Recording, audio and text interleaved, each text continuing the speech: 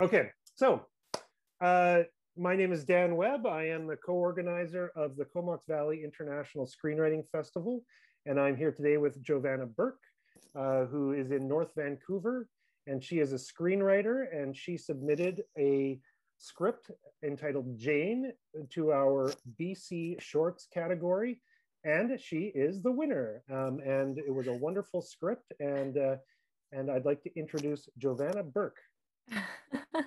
Hi there, I'm Jovanna Burke. I am a, a Canadian North Vancouver, West Vancouver native.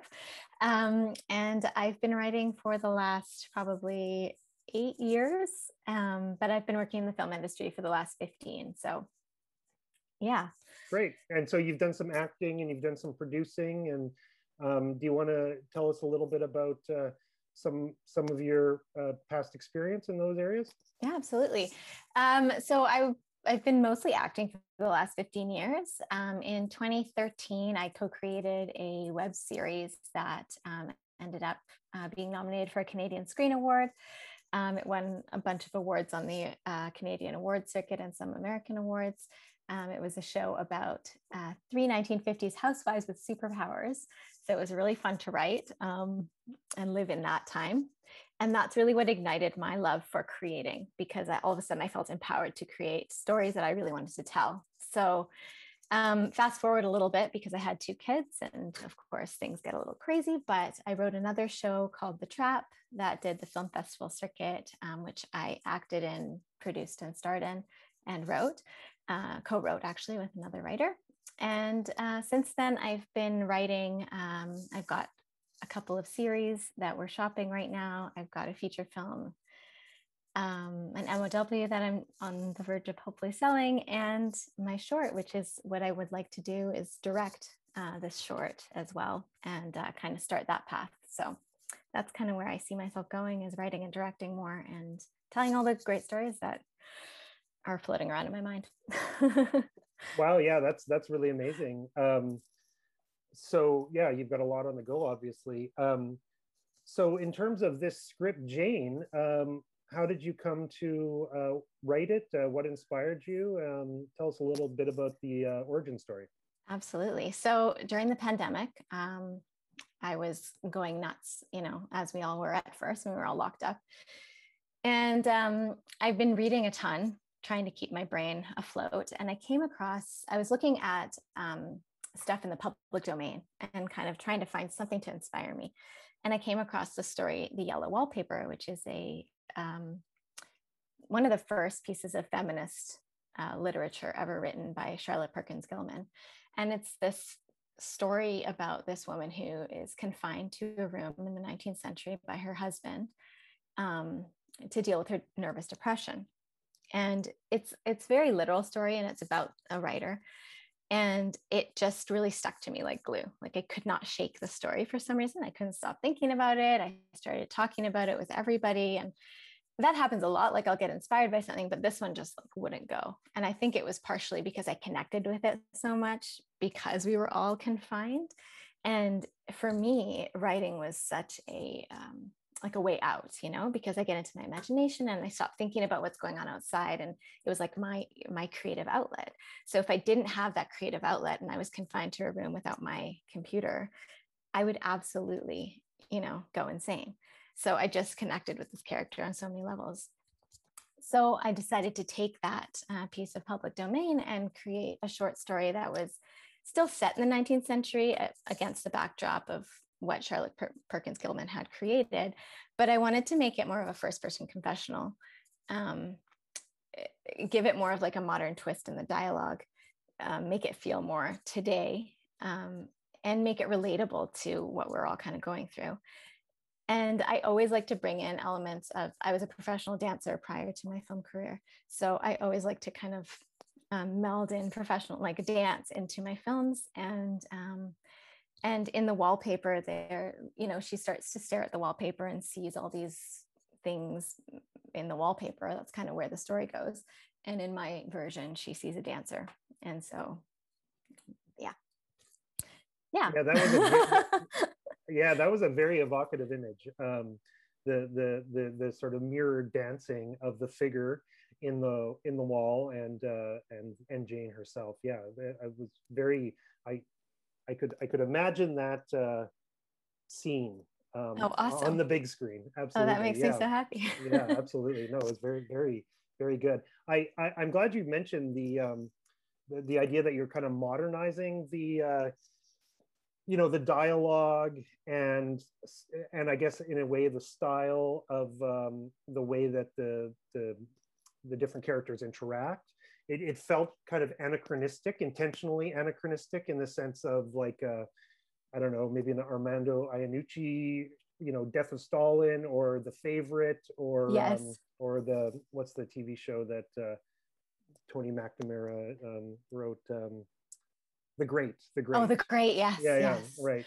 Yes. Um, yeah, and so I, I was wondering uh, because you have some cursing and you have some kind of obviously very uh, contemporary turns of phrase and so on. Um, yes. Did you have any particular uh, style in mind? Any any movies or TV shows? Um, yeah.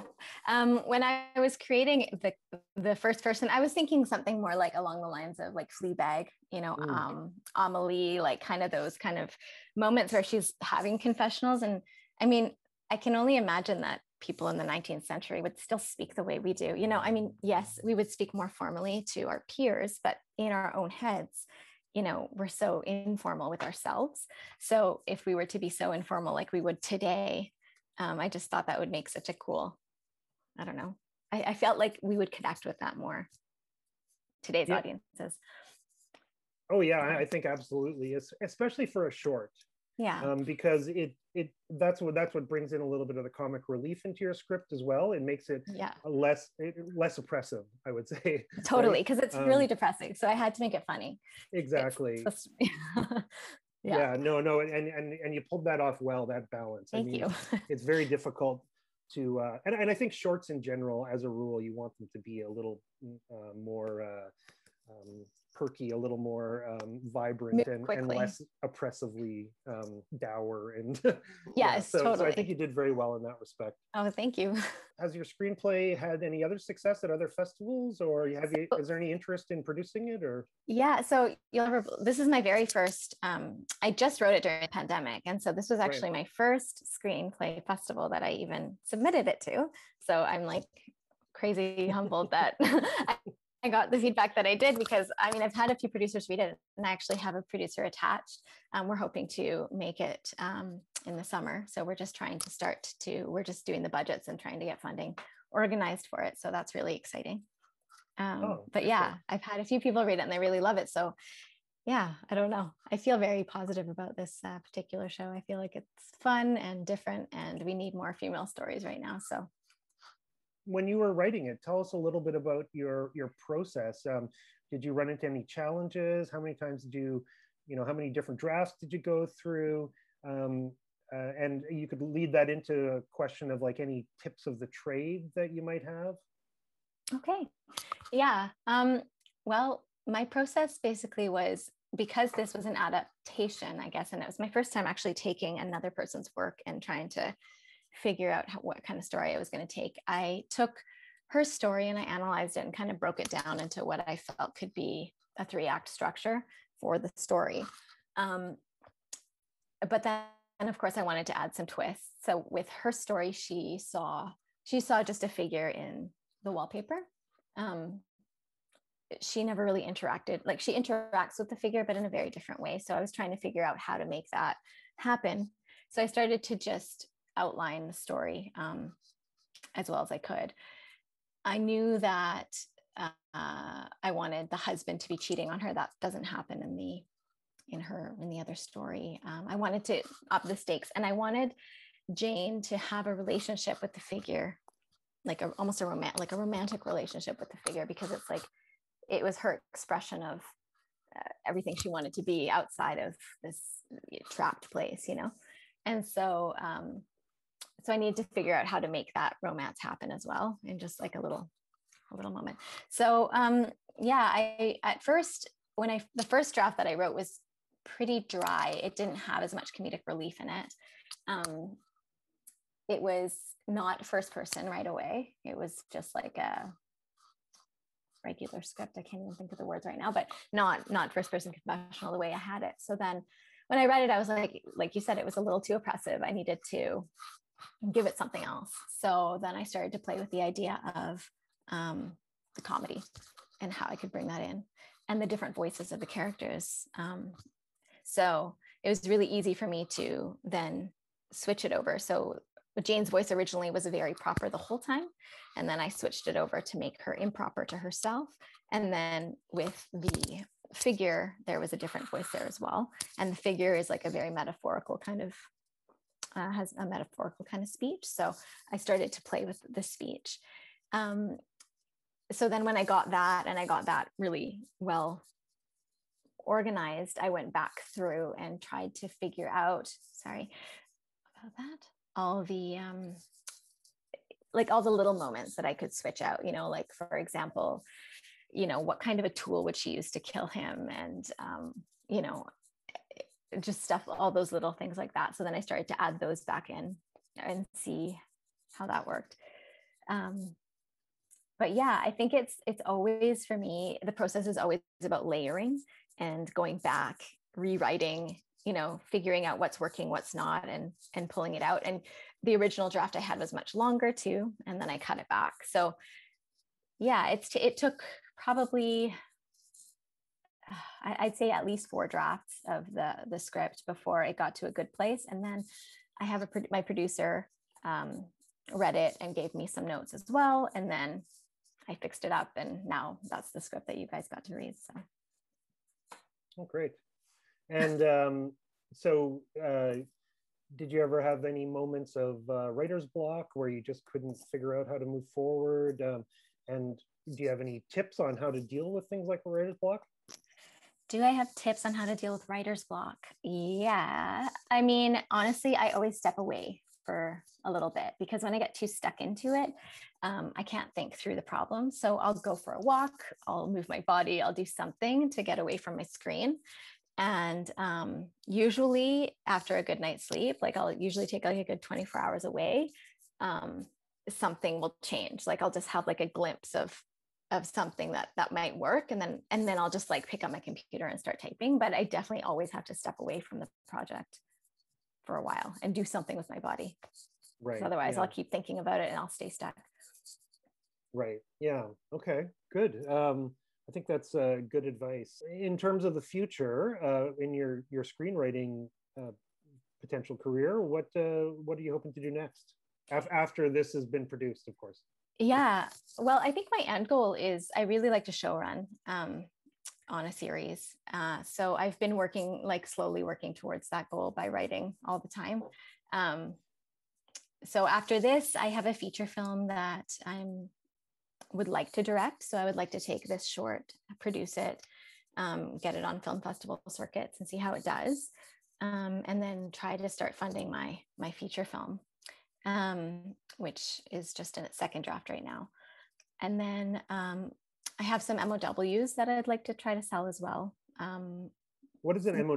I actually an MOW is an, a movie of the week. So ah, right. in in Canada, we have a lot of uh, production companies that do MOWs, and they're it's a different, a completely different market than like an independent feature uh, market. But you know, I feel like if you can sell some of those and get, you know, get kind of a name for yourself as a screenwriter, maybe it's going to help you fund, you know, your dream projects that you want to make. So I figured why not try to take that road since I have been working in in MOWs for years. So um, yeah, so I kind of know what the structure of an MOW is, and it's very different than a regular feature it's kind of a very it's a very um, formulaic way of writing but that's okay you can find creativity within the formula always and uh, yeah so i'd like to those are the two things i'd really like to do is the short and the feature those are my main things and then um, hopefully um, kind of push into television a little bit so we'll see great well i think you've got step. a great pardon me step by step right it's all strategic we'll see what happens. of course yeah, yeah. Well, I think you've got a great career ahead of you. Um, you know, uh, if that's your first uh, your first script, uh, you know, you you've you're headed for great things, I think. So, oh, um, thank you. I'm, I'm very humbled. okay, well, thanks so much, uh, Jovanna. It was really great talking to you. And uh, we're once again really thrilled that you decided to uh, enter your script. And uh, uh, we can't wait to uh, talk to you more at the festival. Thank you so much for having me. It's been such a pleasure. And I'm so happy that I got to have you guys read my script. I'm very humbled.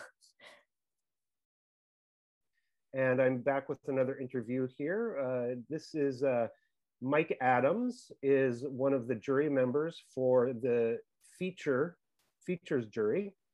So we're going to have a little talk with him and um, see what kind of insights he can provide us regarding screenwriting. So thanks a lot, Mike. Uh, oh, excuse me. I should also mention that uh, Mike, of course, is going to be leading the uh, workshops, the four uh, screenwriting workshops. I am. So, oh, I am. I am. Yes, yes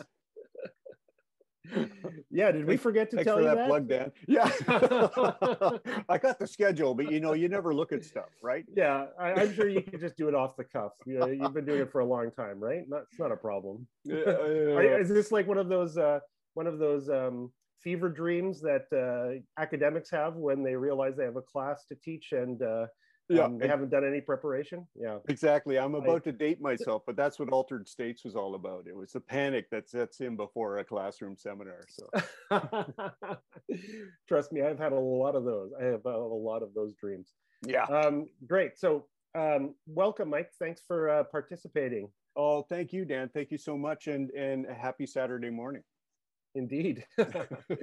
um, uh, so why don't you just tell us a little bit about yourself, a little bit about, about your history and uh, your uh, professional uh, pursuits and so on? Uh, it shouldn't take long. I was born yesterday and uh, I'm as gullible as a fork, so that's good. Um, yeah, I, I, I have been in filmmaking in some form and writing for 26 years now. And um, what happened was I, I had a friend who asked me if I could write a, a, screenplay for him. And this was about 26 years ago. And, and I had been writing, you know, really terrible poetry and bad short stories up until that time. And he seemed to like that. So uh, thought I could write a screenplay. And I, I went to the only source I, I had at the time, which is called a library for you younger people. It's a great building to get to know later when the pandemic opens up uh, and took out the two screenplays they had there. One was Jacob's Ladder, and the other was uh, Indiana Jones. Um, and so uh, I had good teachers, and I learned how to. Uh, as soon as I opened these these screenplays up and read them, uh, the the the formatting and the speed and the economy of language and the cinematic way it made me think just spoke to me, and I absolutely fell in love with screenplays and discovering how to write them. And uh, so that was a long time ago. And the first thing I did is I recognized after I wrote my first screenplay that I was terrible at it.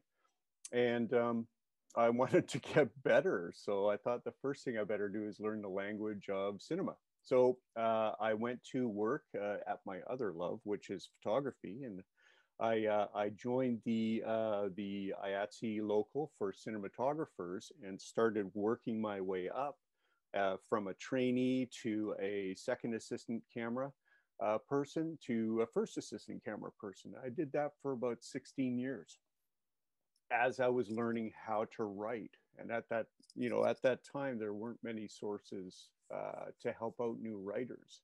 Um, but there was one book called uh, The Writer's Journey by Christopher Vogler, and that seems to be the one that sort of started off this uh, desire to know more about screenwriting and the storytelling process, interest in people like Joseph Campbell, um, the hero with a thousand faces, and all that kind of stuff. Uh, Carl Jung and the archetype model, um, all these types of things. Aristotle, of course, poetics and, and coming through. Um, and, and all that stuff started to open up. And we've got now today an incredible industry, not only of screenwriting, but we have an incredibly supportive industry of screenwriting education out there for people to get to, which is great because new writers now can, just by taking a seminar on the weekend, advance their writing more than I could after a year of, of trying to figure it out on my own back 20 years ago. So this is a fantastic time to be a writer. Um, okay, so uh, what else did I do in the in that time? In the last 25 years, I've written uh, 34 feature-length scripts. Um, 10 of them right now are in development with different countries. Uh, a couple have been made. I've been very lucky that way. Um, but where I make my bread and butter now, living in Vancouver, is consulting. So what I do is I help people get their scripts into good shape for shooting. So I'm working with directors that have been employed by small production companies to, to do local work or to do work. I have uh, clients in Europe and, and the US as well.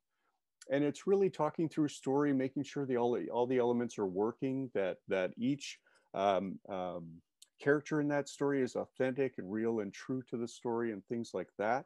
Uh, making sure that everything is integral. And of course, the major major component of storytelling, story structure, the part that nobody really wants to deal with, um, but is critical to the success of any story. Um, that's what I'm into now. That's what's paying the bills. Um, lots of, I, am never going to stop writing myself, uh, even though I'm incredibly busy doing the other one. Um, uh, because I think, like most people out here, most people who are at the festival, I just love writing. And uh, when you get called to do it, you got to do it.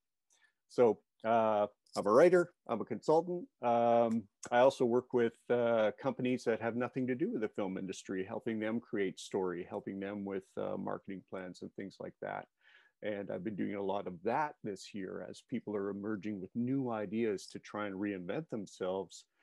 There are stories to be told in that in that industry or, or in those industries and uh, and people can use our help as writers to help them tell those stories effectively and to connect with their their future client base. So that's been an interesting tale as well. And I believe you have um, a history being a uh, professional screenwriting teacher as well. Oh, oh yeah.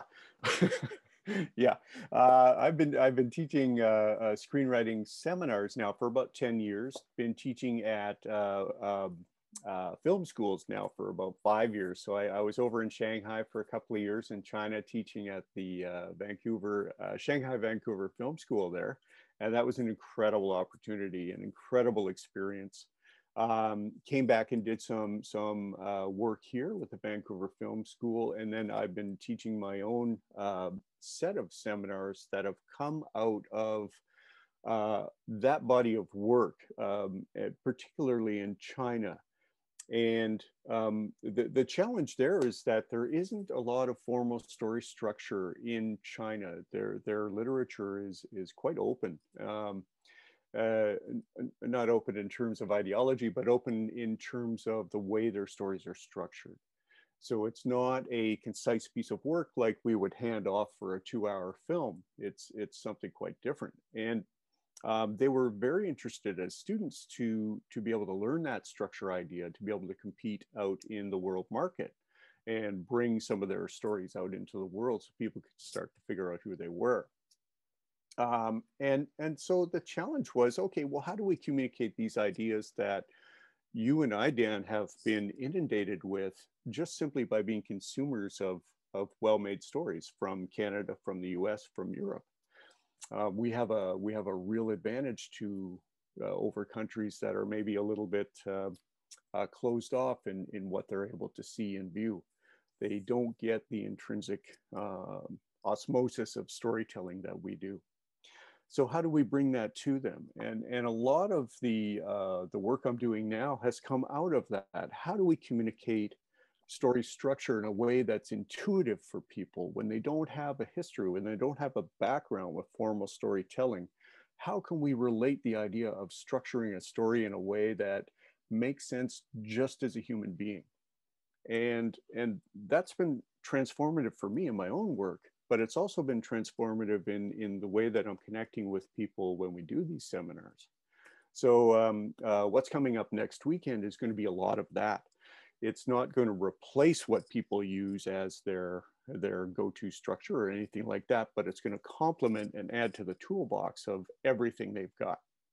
So so hopefully that's that's going to be a fun thing to go through. Um, when when it comes to uh, your experience being on the jury, yeah, and reading uh, the screenplays and um, evaluating them, do you, do you have any general insights uh, or suggestions for uh, future uh, submitters to the competition? Did you notice any trends, any anything that uh, you might, uh, you know, sort of uh, flag and say, here's here's something we we should we should try to avoid, or yeah. and and yeah. alternatively, um, was it did you observe anything that uh, recurring that you were quite impressed with?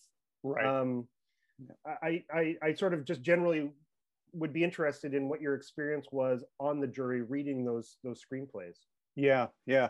Well, you know, um, the scripts were incredibly varied in terms of where they came from, which was really, really cool. I mean, I think we had submissions from from Europe, we had submissions from the U.S., from Canada. It was awesome. Um, uh, and some of those flavors really came through. Some of them stumped us, though. We couldn't tell where they were from right when we were looking at them which is a good thing as well. We don't want to have a, a, a predisposed idea of what that story might be like due to region. Um, but in terms of of an overall impression of uh, of the scripts we were reading the quality was very good. I was surprised by that.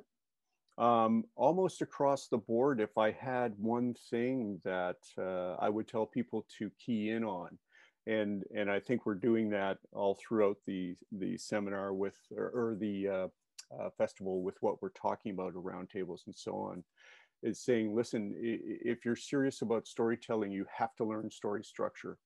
It's the hardest thing to learn um, when it comes to storytelling and it does take time working with it to become good at it.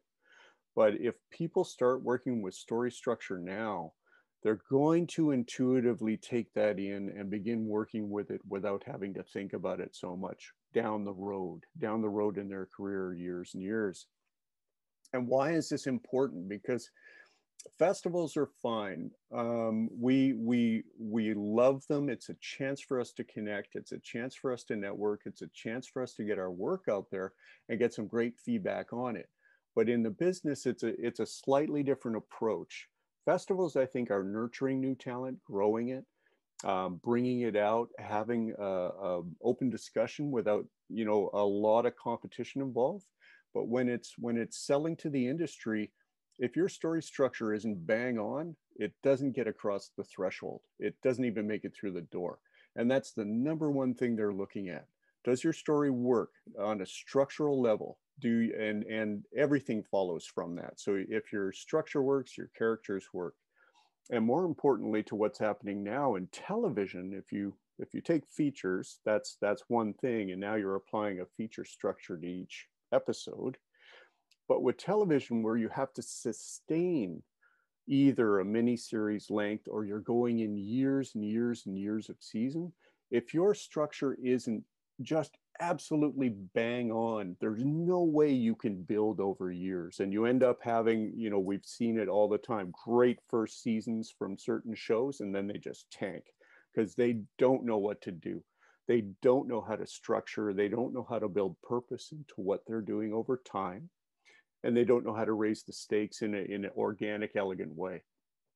So, long story short, story structure understand what it is, study all the different forms that you can. There's a whole bunch of great books out there, and we'll talk about those in the seminars. Give you a book list to go to and get some education. Um, but don't be afraid of it. It's your friend. Almost every new writer I talk to, and certainly I went through this as a new writer, there's an aversion to structure because as soon as we say structure, we think formula. And we've all read those stories. We've all read those scripts where you can predict what's going to happen. You know, every five minutes, it's it's it's it's terrible. But listen, we all go through that process.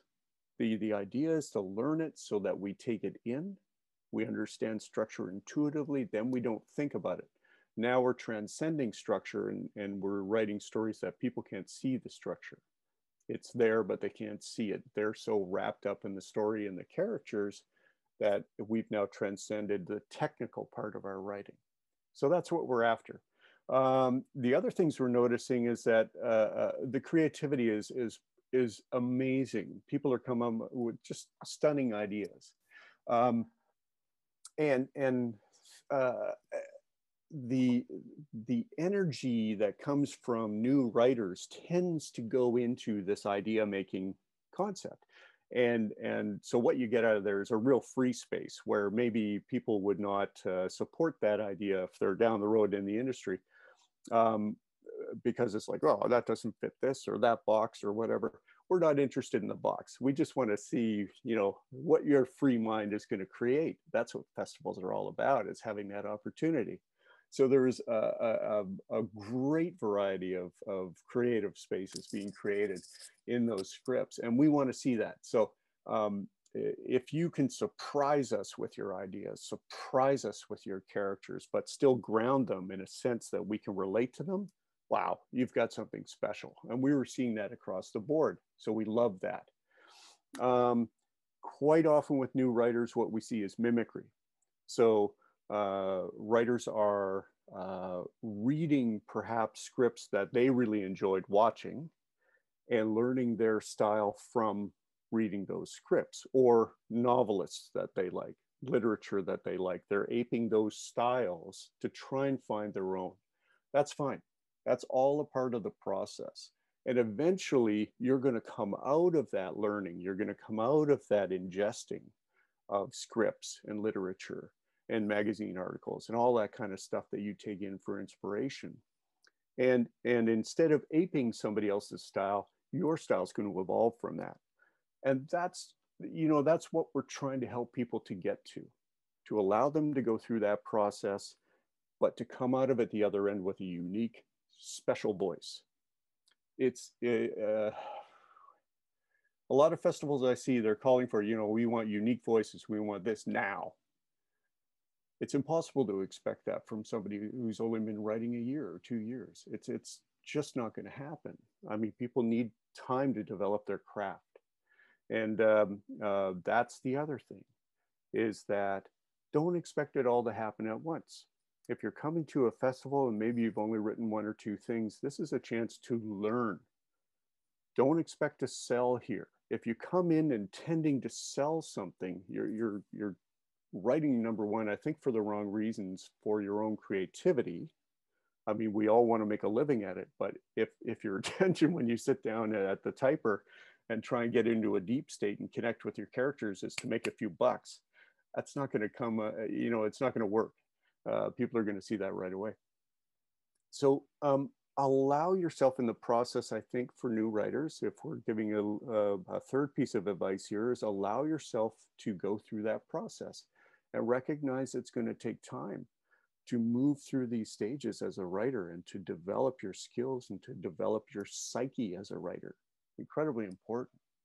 So, yeah, why don't we stop it there at, at sort of three ideas to work on? Great. Well, that's a great tease for the uh, for the workshops. Absolutely. Um, yeah, I'm really looking forward to those. So I think I will just leave it at that, unless you have anything else you'd like to add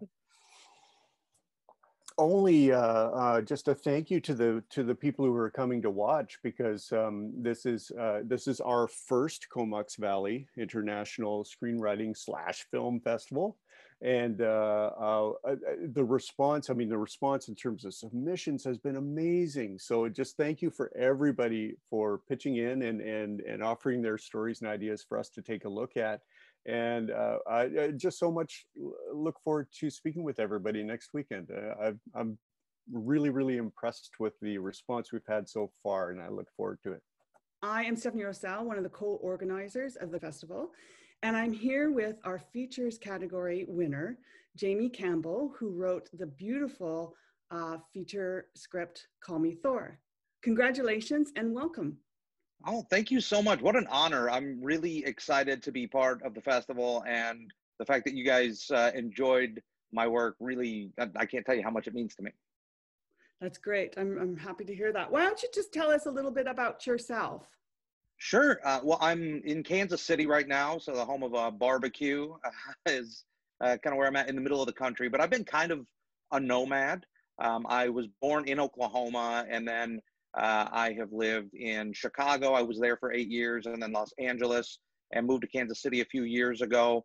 My primary background uh, is in stand-up comedy for the last decade. I've been a touring stand-up comedian, and when the pandemic hit, I was somebody who was interested in writing, but had only really done uh, things for the live performance space. Uh, so I'd written a one-man show. I'd written my own stand-up comedy, of course, and a lot of sketch comedy that was performed in Chicago, and, and a few short plays.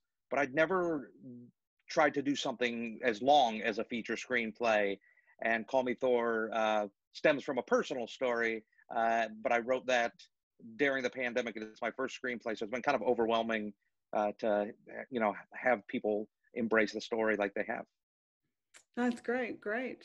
Um, and um, so, how did you how did you just get into screenwriting? Was it a natural progression from from comedy?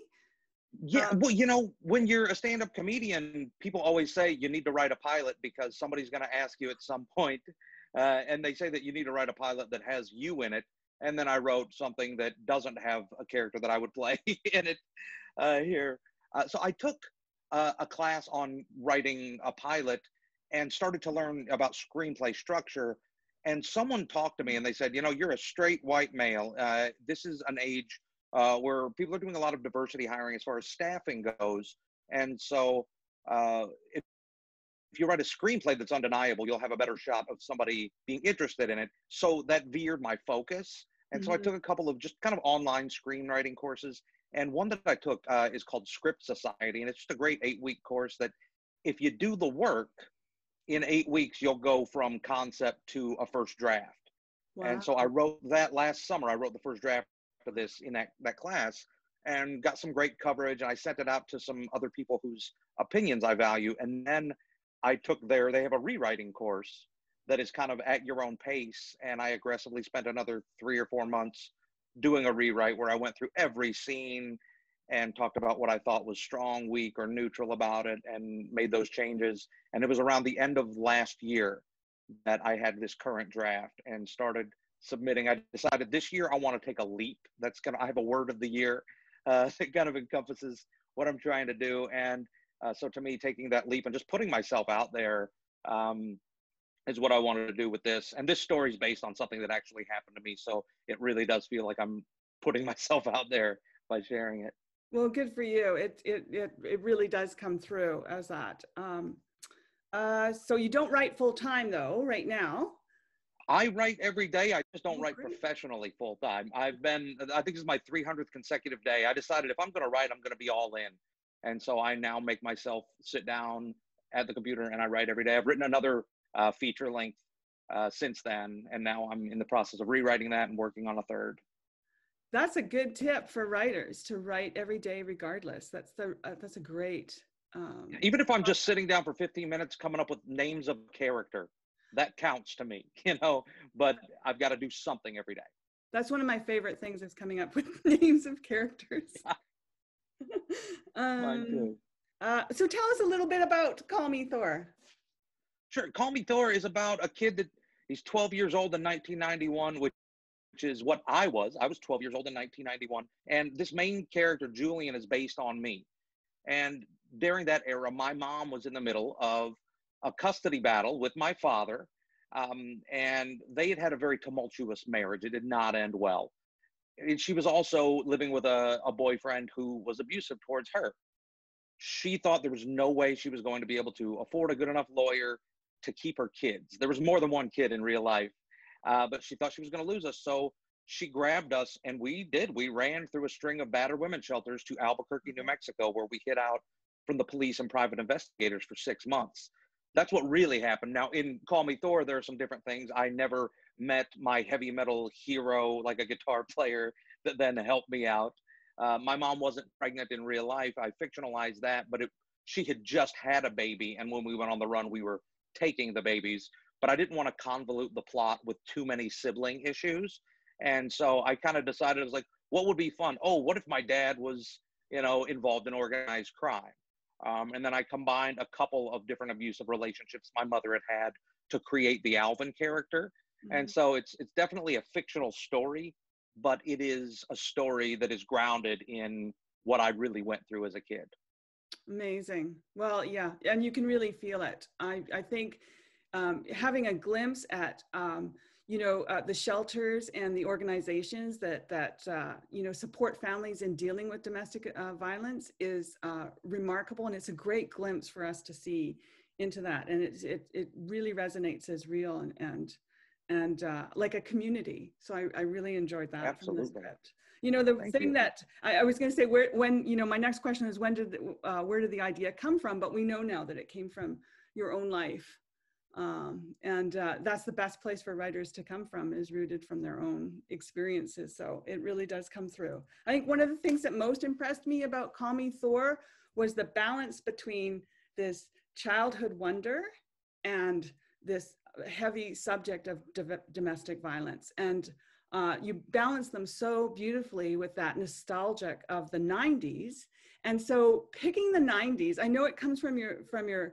your childhood but to me the 90s is almost as if it's a character in the story as well and was that intentional to to do that Yeah, well, you know, I don't think I sat outside the script uh, and thought as a puppet master how many moments of the 90s can I grab and put in there. But when I look at myself in that lens, like this kid, the the heavy metal music of the late 80s, early 90s is such an important thing to him. And like that moment when Julian runs and they're they're leaving. We had that moment where we had to wait for my mom's boyfriend to be gone to work and we made an escape. And i remember grabbing the batteries from anywhere in the house for my walkman and my tapes. So that era to me the music was huge. That was my dream was to be uh, in a in a heavy metal band with my best friend. His real name was tad in the movie. He's ted. But um, when i look back just those snapshots bring me right back to that moment in time. You know just that like that beginning when the narrator talks about you know the price of gas uh, you know teenagers wanting to look like the cast of 90210 um, 80s hair metal being in that transitionary phase where grunge was starting to take over. Like those moments grab me. I, there are a lot of things that like had we had cell phones or the type of technology that we have now that would not have been able to to have happened like we'd have been caught probably much sooner Right, of course. Wow. Yeah, that's great. Um, yeah, I didn't even think about that, but you're absolutely right. And I just, I just love the nostalgic in it. It, it reminds me of things like Stand by Me or um, Wonder Years. It has that kind of feel to it. Um, and I, I Oh, just, I absolutely love it. And the '90s was, was you're right, of really music, and your, the music in your script really resonates too. It's, it's, um, it again is also a character, which helps to support uh, you know, uh, Julian and his uh, quest to uh, have music in his life. Why Thor? Oh, well, you come up I'll, I'll tell you what. Yeah, that to me, uh, I'm glad that you asked that because um, eh, originally my mom gave me the assignment when we were on a Greyhound bus on the way to New Mexico to choose what our new name was going to be when we were hiding out.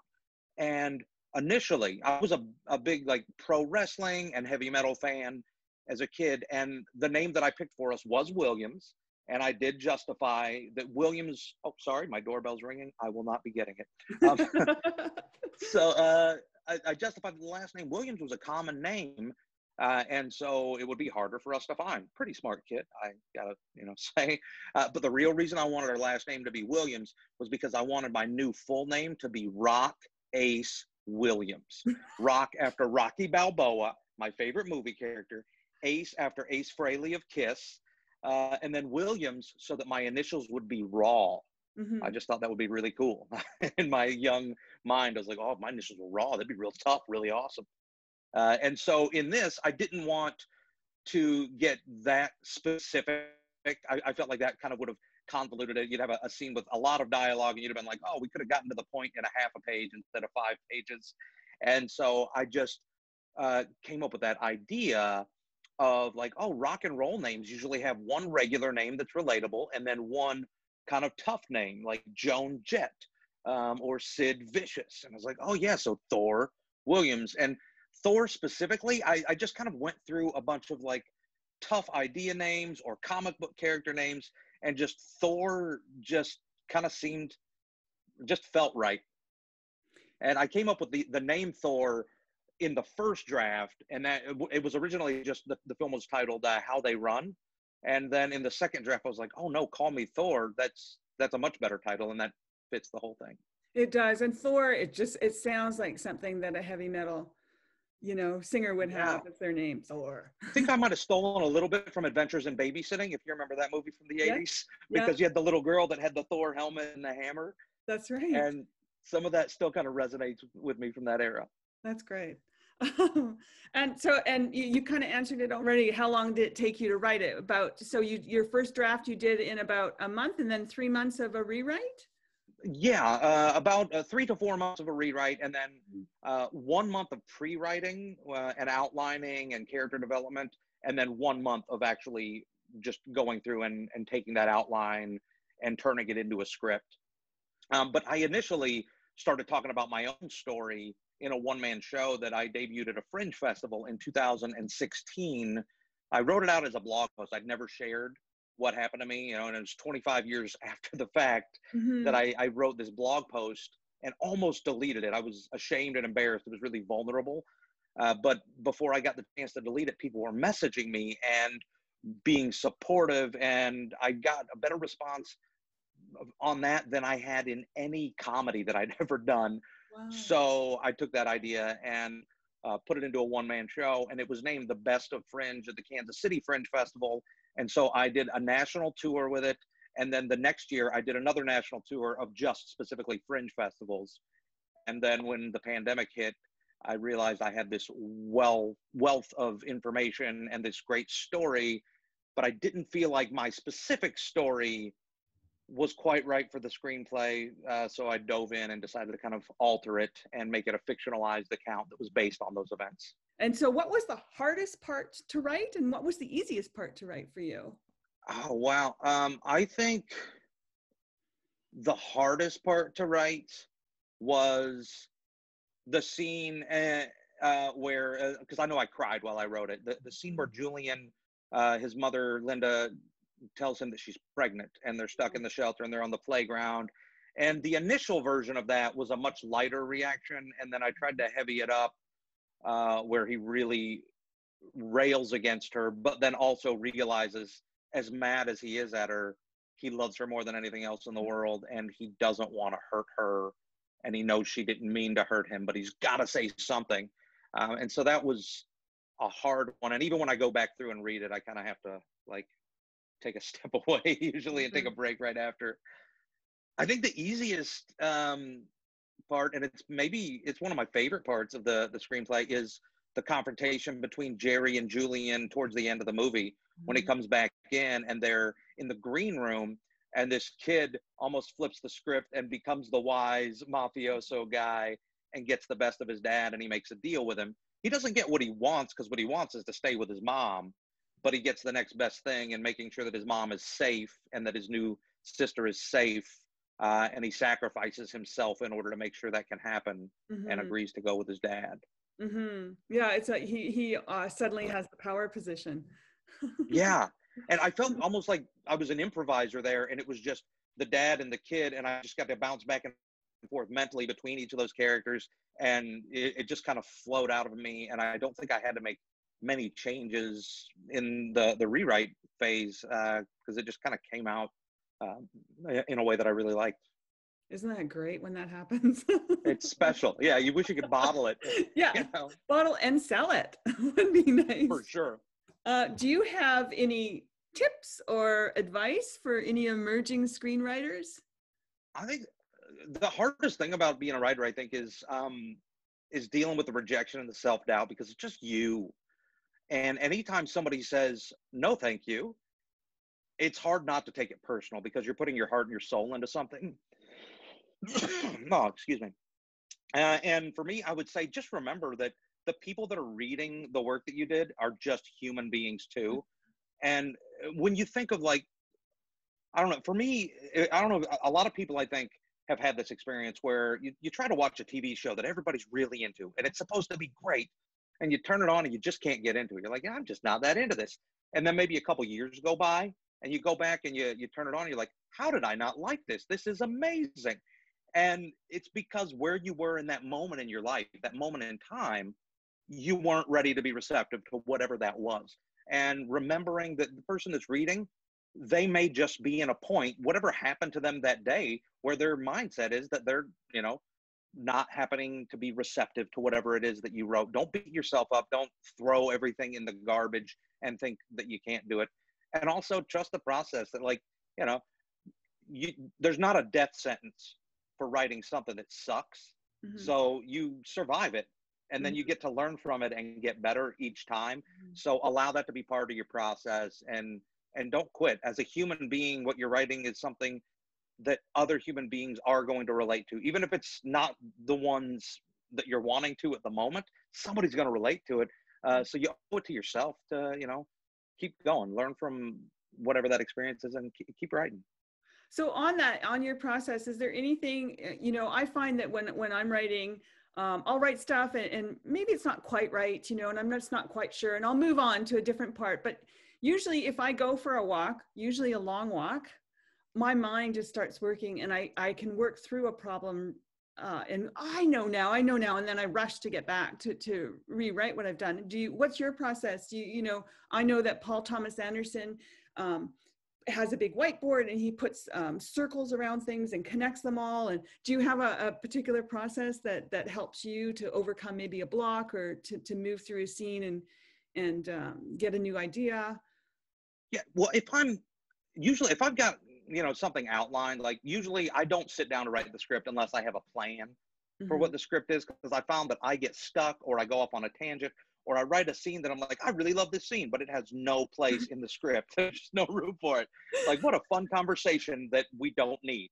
Um, so for me outlining is huge. And when i have the outline i go in and i go i'm writing this scene today.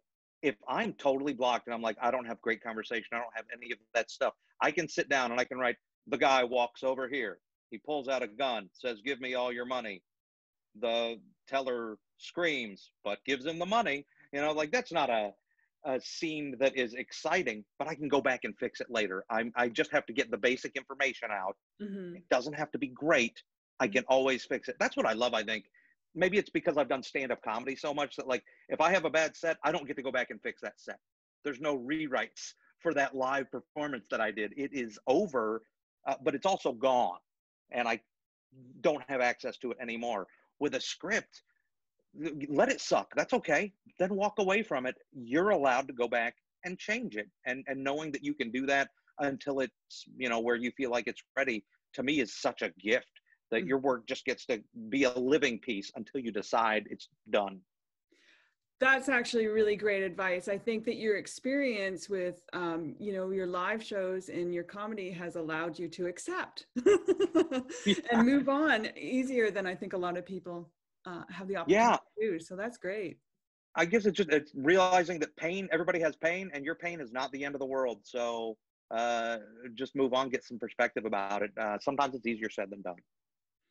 What do you hope to do with your writing moving forward well you know this i i hope to be able to just to continue writing and i will. Um, to me i decided to go into this with no expectations when i decided to start my journey as a writer and it's become something that i've fallen in love with. It's part of my daily routine now my daily habit and i think if nobody ever you know wanted to produce anything that i that i wrote i think i would still do it. I could be wrong, but uh, but I, I'm enjoying the process right now and trying to see where it takes me. And I just want to allow myself to put my my writing out there and be open to whatever may happen. I have been somebody that has written so much for the stage, and and for many years I just wrote things that were intended to be either performed by me or by me and a group of others. Mm-hmm. And there's something freeing about going, I wrote this, now I'm sending it off, and I can control nothing and I love that. So for me, I think I want to be a writer that just lets other people who people who are great directors, people who are great actors, lets them handle their job and do what they do well. And um, you know, then I, you know, go on to the next thing and then get to go see what they did with it. Well, I thank you for your time. I, I have no other further questions unless you have something that you want to say. No, I just want to say thank you. It is really, it's such an honor. I, you know, uh, that, that you enjoy my script after all of the experiences that you've had. I, am brand new and very humble uh, to be here amongst uh, so many people who've been working in this field. And so, if there's any advice that you have for me, or if, if you can, uh, you know, point me in any other directions, I'm very new here and very green, and I'm just excited to be uh, a part of this festival. Today, I'm here uh, for an interview with Darlene Tait, who was uh, on our shorts uh, jury uh, for the for the for the scripts that were submitted. So I'm going to talk to her today a little bit about um, who she is, um, what she does for a living, and her experience uh, working uh, on the jury. So, uh, Darlene, welcome. Thanks, Dan. I'm thrilled to be here. Great. So uh, I guess we'll just start off. Uh, could you just tell us a little bit about yourself, uh, your what you do for a living, and maybe how you got involved with this festival? Well, um, what I do for a living, I, technically, I am retired. Um, and that leaves me all kinds of time to get into trouble with various film projects. Um, so I really dedicate my my um, self full time to the film industry in some capacity or another. I serve as president of our local independent film society. I'm vice president of the um, the film commission, and here in Victoria, and recently stepped down um, uh, after completion of terms on women in film. So I'm fairly active kind of on the organizational side of things. Um, my heart belongs to acting. That's where I really um, try to spend the bulk of my time auditioning and, and uh, being on set, things of that nature. Uh, let me see. Um, so that, that's kind of how I have connected myself in this world to people like yourself and Stephanie. I have produced several short films. And um, so I've, I've connected around that. That's how I got to know you and Stephanie. And that's how I kind of came to be involved with this festival. Great. And uh, you're, you're part of uh, Cinevic. And I, I understand that currently there is a, uh, festival uh, that Cinevic is putting on. Do you want to talk a little bit about that? I'd love to. This is Cinevic's uh, ninth annual film festival. It's called Short Circuit. Uh, well, technically, it's called uh, the Pacific Rim Short Circuit Film Festival. And what it does is it draws submissions from around the Pacific Rim area. So we have, uh, well, submissions from all over the Pacific Rim region. And uh, it's going for the entire month and some of the films are absolutely outstanding and they've been organized into various collections uh, including um, shorts from right here on the island so people who are interested in taking a look at the offerings you can see a whole collection of films for $10 or um, get a, a, pass to see all of them and you've got a month to see them in um, for $45 and if people just go to cinevic.ca, right there on the landing or on the homepage, they'll find links to be able to uh, purchase tickets or to kind of get a sense of what kind of films are being offered in that festival. Fantastic. Yeah, I'm uh, after after I finish this series of interviews today, uh, I'm looking forward to uh, watching a couple of those. Um, I got my early bird pass, and so I'm excited to see what uh, yeah. Uh, what's been submitted and uh, I'm really looking forward to seeing films from all around the world. Yeah. Um, great. So let's talk a little bit about your experience on the jury for uh, the Screenwriting Festival. Uh, you were on the shorts, which means uh, you were uh, evaluating for three different categories. Mm-hmm. Um, tell me how you, uh, what your experience was like. Uh, what do you have any observations about the scripts you read? Um, tell me a little bit about how, how you evaluated the scripts. Uh, mm-hmm. what what elements were the most important to you when it came to uh, adjudicating them? Well, it's um, first off when I was first introduced to it and sent my first batch of uh, screenplays to review. I, I was blown away. I don't know what my expectations really were, but I started reading the first few and it was like, huh, I mean, these are really, really strong submissions. And in terms of reviewing them, you know, I think each one of the jury members brings their own experiences in. So from my perspective, one of the first things I'm looking at is the producibility of these. Like, how, if this short were made, how could it be made um, in, in terms of uh, the, the production elements to it? Um, and how might it fare on a festival circuit? And that really ties into storylines. Every festival uh, around the world kind of has its leanings in terms of what kind of stories it's looking for. So I'm, I'm looking, I was looking at these through overall readability. And um, as I had said to Stephanie, I said, I, I don't read screenplays, I watch films.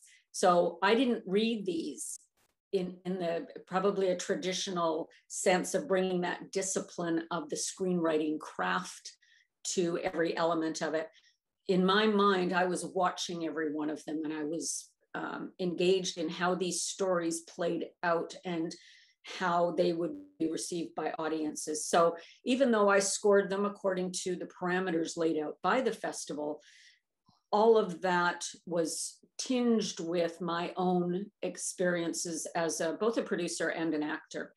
Um, so again, going back to the beginning, I was blown away. There were some very unique storylines um, many of which dealt with uh, very strong current themes, and many of which were, um, I know, if produced, would do exceptionally well on a festival circuit, you know, like award winning caliber screenplays. So, my hope after reading all of these, and, um, you know, the I, I can't remember how many were in that shorts package altogether, but you know, the top probably 10 to 15 of those, I'm just hoping that they find themselves a producer and, and get their shorts made because I, I thought they were quite outstanding.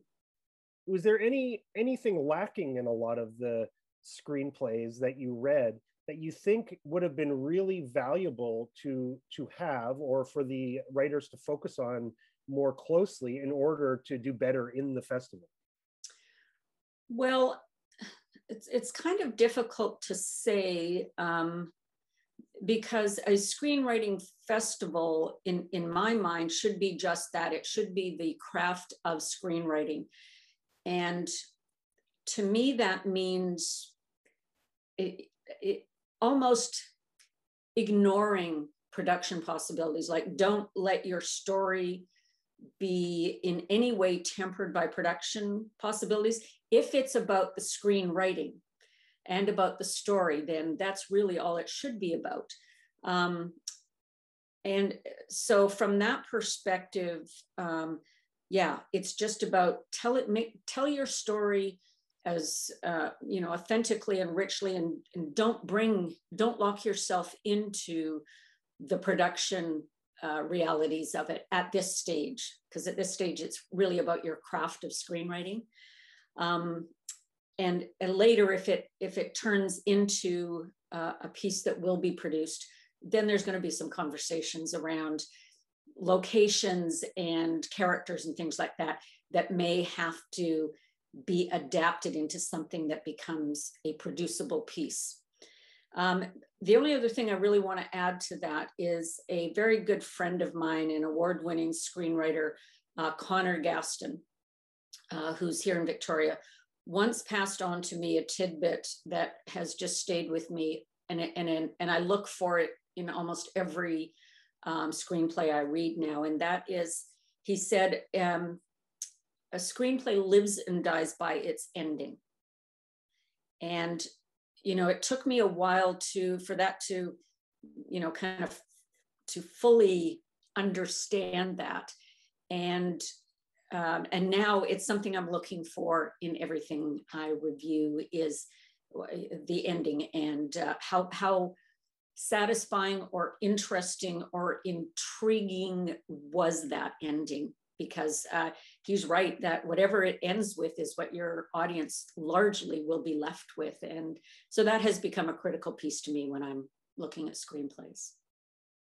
Yeah, I think that's a really good insight. Uh, you know, when I've been reading a lot of the scripts as well, you can have these really strong um, starts to the script um, really intriguing characters, but then it kind of fizzles out near the end. It's yeah, it's it's it's a really it's a recurring problem for sure in a lot of uh, scripts, including the ones I've tried to write. So um, so I know exactly uh, what you're what you're saying there. Um, great. Well, I, I think that's all we really need to discuss today. So thanks so much for your time and thanks for being involved in the festival. Um, I uh, I really look forward to uh, seeing you there and hope that uh, you can uh, participate in some way.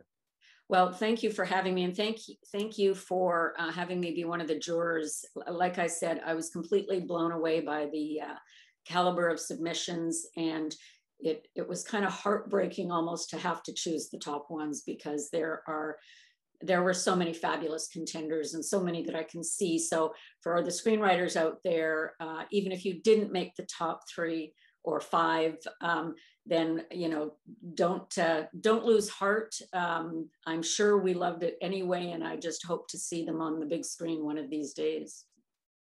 Great, thanks so much, Darlene, and good luck on your festival. Thanks, Dan. See you there.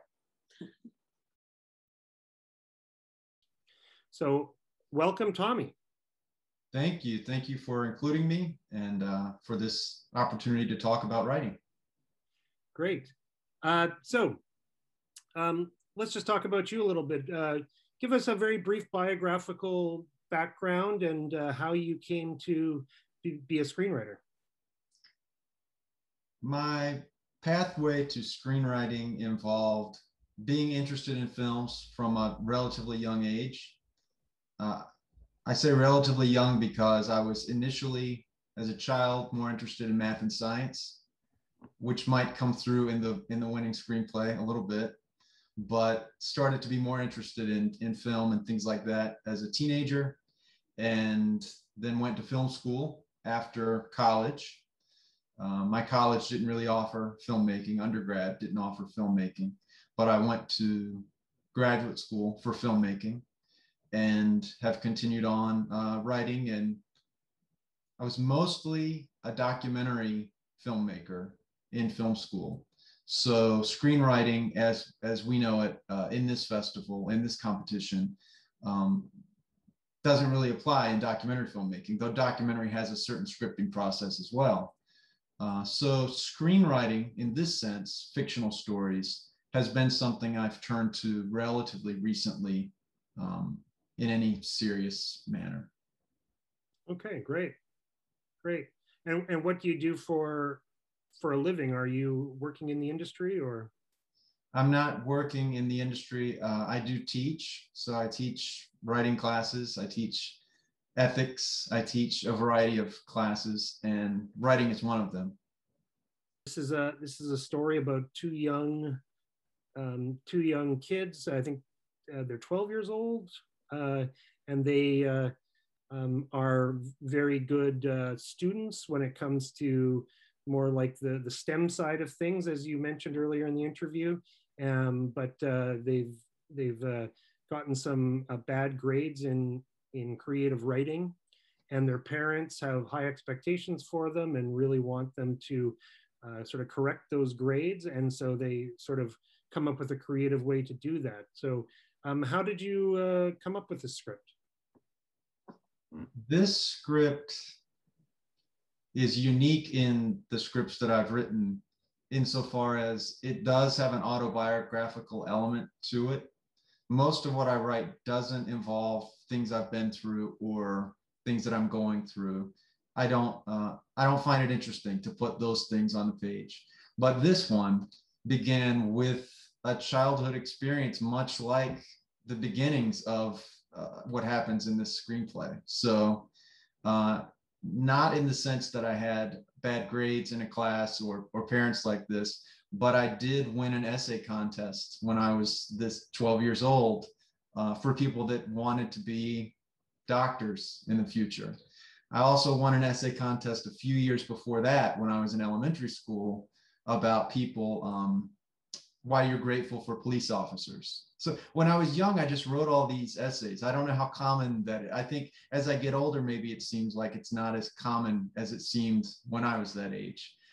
But nevertheless, I wrote this, and believe it or not, the prize was to go to one of these labs where bodies are being studied at a, at a medical university and a medical school and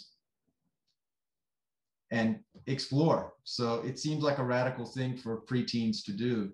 And when I look back on it, it is really strange. And, and it does come with all these horrific associations of hearts and brains and, and all these things. But that is where this particular script came from. Oh wow! So so you actually have memories of sticking your hand in, hands in cadavers and touching hearts and brains and so on and so forth. Yes, and much like much like what happens in the screenplay. Obviously, the screenplay takes place within the horror genre and it departs from reality in a certain way. But those those uh, tactile moments of touching these different things at the different stations those are true to the experience. I've modernized the setting a little bit so that it's contemporary, but um, also similarly, the parents who accompanied as chaperones were far more shaken than the kids were in my experience. And so I've written a little bit of that aspect into the screenplay as well. That, that, that when we were 12 years old, it didn't, for some reason, we all were fascinated by it. And, and yet the adults did not get accustomed to it as easily as easily as the kids did right there's a certain innocence to being young when you haven't learned to be uh, revolted by certain things. Yeah although i will say i write a lot of script involving young people and i like exploring that idea of on one hand that innocence that you just mentioned but also in in another script that we may talk about ashley knows that script is about people overestimating the innocence of of kids or overestimating you know that kids have this certain ignorance about about the world.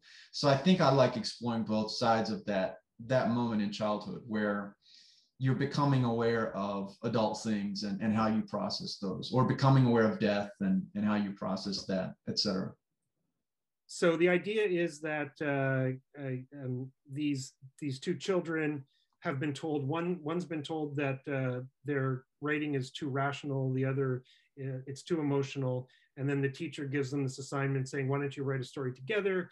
And uh, maybe you can like bring mind and uh, you know, emotion together and produce something that will be be better a better rounded story. And it occurred to me that perhaps what they were doing was they were taking a kind of uh, a metaphorical suggestion, which is, you know, you need more mind, you need more heart, uh, which are proxies for reason and for emotion. And in, in a way, what they ended up doing in the story was they created, they, they made it literal, right? It turned into a literal uh, thing. Was that supposed to be kind of a funny commentary that they were taking everything literally, but with a little wink?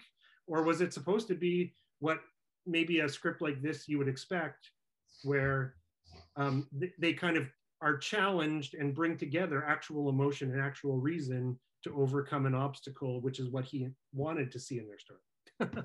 That's a very good. I appreciate your reading of that. Um, you know, I can tell that you've thought about it, and I, I appreciate that. For me, the literalization. Well, I should start by saying that if, if we spoil the story, I guess the the way of spoiling it would be to reveal that much of what we're reading in this screenplay is a fiction that these two kids have come up with together. The point at which it becomes fiction is a little hard to discern when you're reading it. I think you could have a different view of when we actually start to see the, the fiction within the story emerge.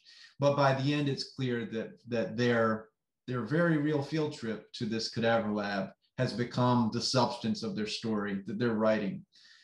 But as a writer, I like to start with, with small goals for characters. I find that if you have what looks from the outside like a small goal, it can often be something that means a lot to the person. So even though it's a small thing, it can have a large meaning or take up a lot of their energy and their thought life. So for these two kids who are very literal in the way that they see the world, their small goal is they want to raise their grade from a C and a B respectively. And they feel that pressure because of their parents. And so they they try to do the next thing, which is approach the teacher and ask the question. So when he tells them what their weak points are as writers in creative writing, he understands from a writing teacher's perspective that we're always trying to balance intellect and emotion. So I wanted to comment first on that idea that that's how a writing teacher would approach the world. But my reading of the two the two children is that they're not reflecting at all as they're writing this fiction on like sticking it to him in any way yeah. or being humorous in any way. I think it illustrates their characters to see how literally they take it. To me, that's what I was going for. That they're not they're not being reflexive about it. They are the, the the literalization of the head and the heart embodies who they are as and and it, it also illustrates why they're a good pair, why they work well together. Right. Okay. Great. Yeah, that's that's really interesting. It was uh, it, it was really well done how you structured that. Like in many respects, very simply. Yeah, structure structure and what the words like what the words look like on the page are two things that I think about quite a lot. So in this particular script, and to a lesser extent, the the other one that I submitted, they, they could both be understood as two act scripts. So exactly in the middle of both of these scripts, there's a turning point that determines the entire rest of the trajectory of the plot. And I know we talk as writers a lot about, as screenwriters, a lot about a three act structure, or in TV writing, the four act structure, the five act structure, et cetera. But I wanted to see with these shorts what I could accomplish in a two act structure. So I did think quite a lot about that. Are there any particular um, challenges you've experienced as a screenwriter, whether it is in respect to your scripts that you submitted for the festival or just in general? What's what's the hardest part of writing for you? I would say that the hardest part of writing changes from one season of life to another. Recently, the hardest part of writing has been trying to find the time to do it because of other commitments I've had. And I think making time to write, as simple an idea as that sounds to do, um, is not is not often easy to do. Is uh, is particularly making time to write when the inspiration is also there. So for me, that's part of it. Perhaps relating some to the idea of having small goals or low stakes that become larger over time. For me, I I don't depend on writing for writing is generally a very low stakes thing in my life. And in some ways that makes me freer to explore script ideas that I might not necessarily explore if I were if I had to be commercially minded or if I had to earn my living from it. I think in a way that's one distinction in the pressures that I face from the pressures that working screenwriters would face. Yeah, I think that's probably true. It also occurred to me that I know in my own writing, one of the challenges has has been to overcome academic writing. Um, you know, for you know, for literally, uh, I guess it was 14 years of my life. I did my undergrad and grad school, and I learned to write um, essays in a certain way. And then I know that uh, I, my first few attempts at um, doing screenplays, uh, my uh, my wife and uh, other people would tell me after reading them that like this is this sounds way too academic. People don't really speak this way, um, and uh, it's something that I've had to become very conscious about. Have you experienced the same thing, or? For me, I think it might the two worlds might be slightly closer together simply because the scholarly writing that I have done and that I do is mostly involved with popular culture and the arts anyway. And so even though it's even though the venues for that writing are sometimes scholarly journals or books that I write for, the substance of what I'm writing. So I, for instance, I write a lot about contemporary television. And so in the past couple of years, I've had several chapters in edited volumes about different television shows, Twin Peaks, Haunting of Hill House, I just had one published about Black Mirror. So even though it's a different type of writing, it's analyzing the same world of story that screenwriting involves. So I think I'm able to bridge the two worlds a little bit more closely. Right. Right. Good. But but you're correct that the formatting is completely different, and Mhm. Yeah. uh, and in a screenplay you're writing several characters' perspectives rather than writing from one dry, you know, perspective that includes your argument or or explanation or analysis. So so there are very significant differences between the two types. I mean, I know you said the greatest challenge is that when you uh, is finding the time to write, um, and I know that you say because you don't rely on writing uh, screenplays for your living, you, you have a lot more freedom, um, and and maybe writing block won't be quite as big a factor. Um, but how do, how do you deal with that? Do you ever get to a point where you're you've been working on something and you've been really passionate about it and engaged, and then all of a sudden you just can't think of what to write next? I do have those moments of writer's block. And a couple of the solutions I've found that are valuable are to keep a list of any idea that strikes me, no matter how small an idea it is. And if I keep that list, and I try to also date the list so that I can associate it with what I was going through during that period. Uh, I just keep a running list and if I reach writer's a moment of writer's block with a current project, I often find that I can go to that list and find another another idea that I had at some point and just wrote down. And I will be inspired for one of those ideas. And maybe I'll just start that other one and make very little progress on it. But something about shifting my attention when I have the time to another screenplay, which is the same activity, it helps unlock something that benefits me for the current one as well. And I think there's an analog there with when you study film editing and different parts of the filmmaking process, there's a school of thought that says you have to step away from the work if you're too close to it. And so that, and some people say that before beginning post production on a film, you know, filmmakers should jump out of an airplane you know do something really really radical to shake up their sense of priorities and perspective and and then when they revisit the footage they're going to have a different perspective on the content. It's not going to mean the exact same thing it meant when they were very close to it before. I think screenwriting is very similar. Step away from it for a moment channel that in, uh, energy into something else and then return to it. The other thing is i think it might have been Robert McKee. It was one of the famous story gurus that said that the three sources of story material are memory, imagination, and fact. Memory being something that comes from your own life and experience, imagination coming from something you haven't experienced but could conceive of, and then fact, something that did happen, whether it happened to you or someone else. And I really do find that those are all encompassing. That if I'm having trouble with one area, if I'm having trouble with a certain story or coming up with an idea, I can just shift over from memory to imagination or from imagination to fact. And that will usually unlock where I need to go next.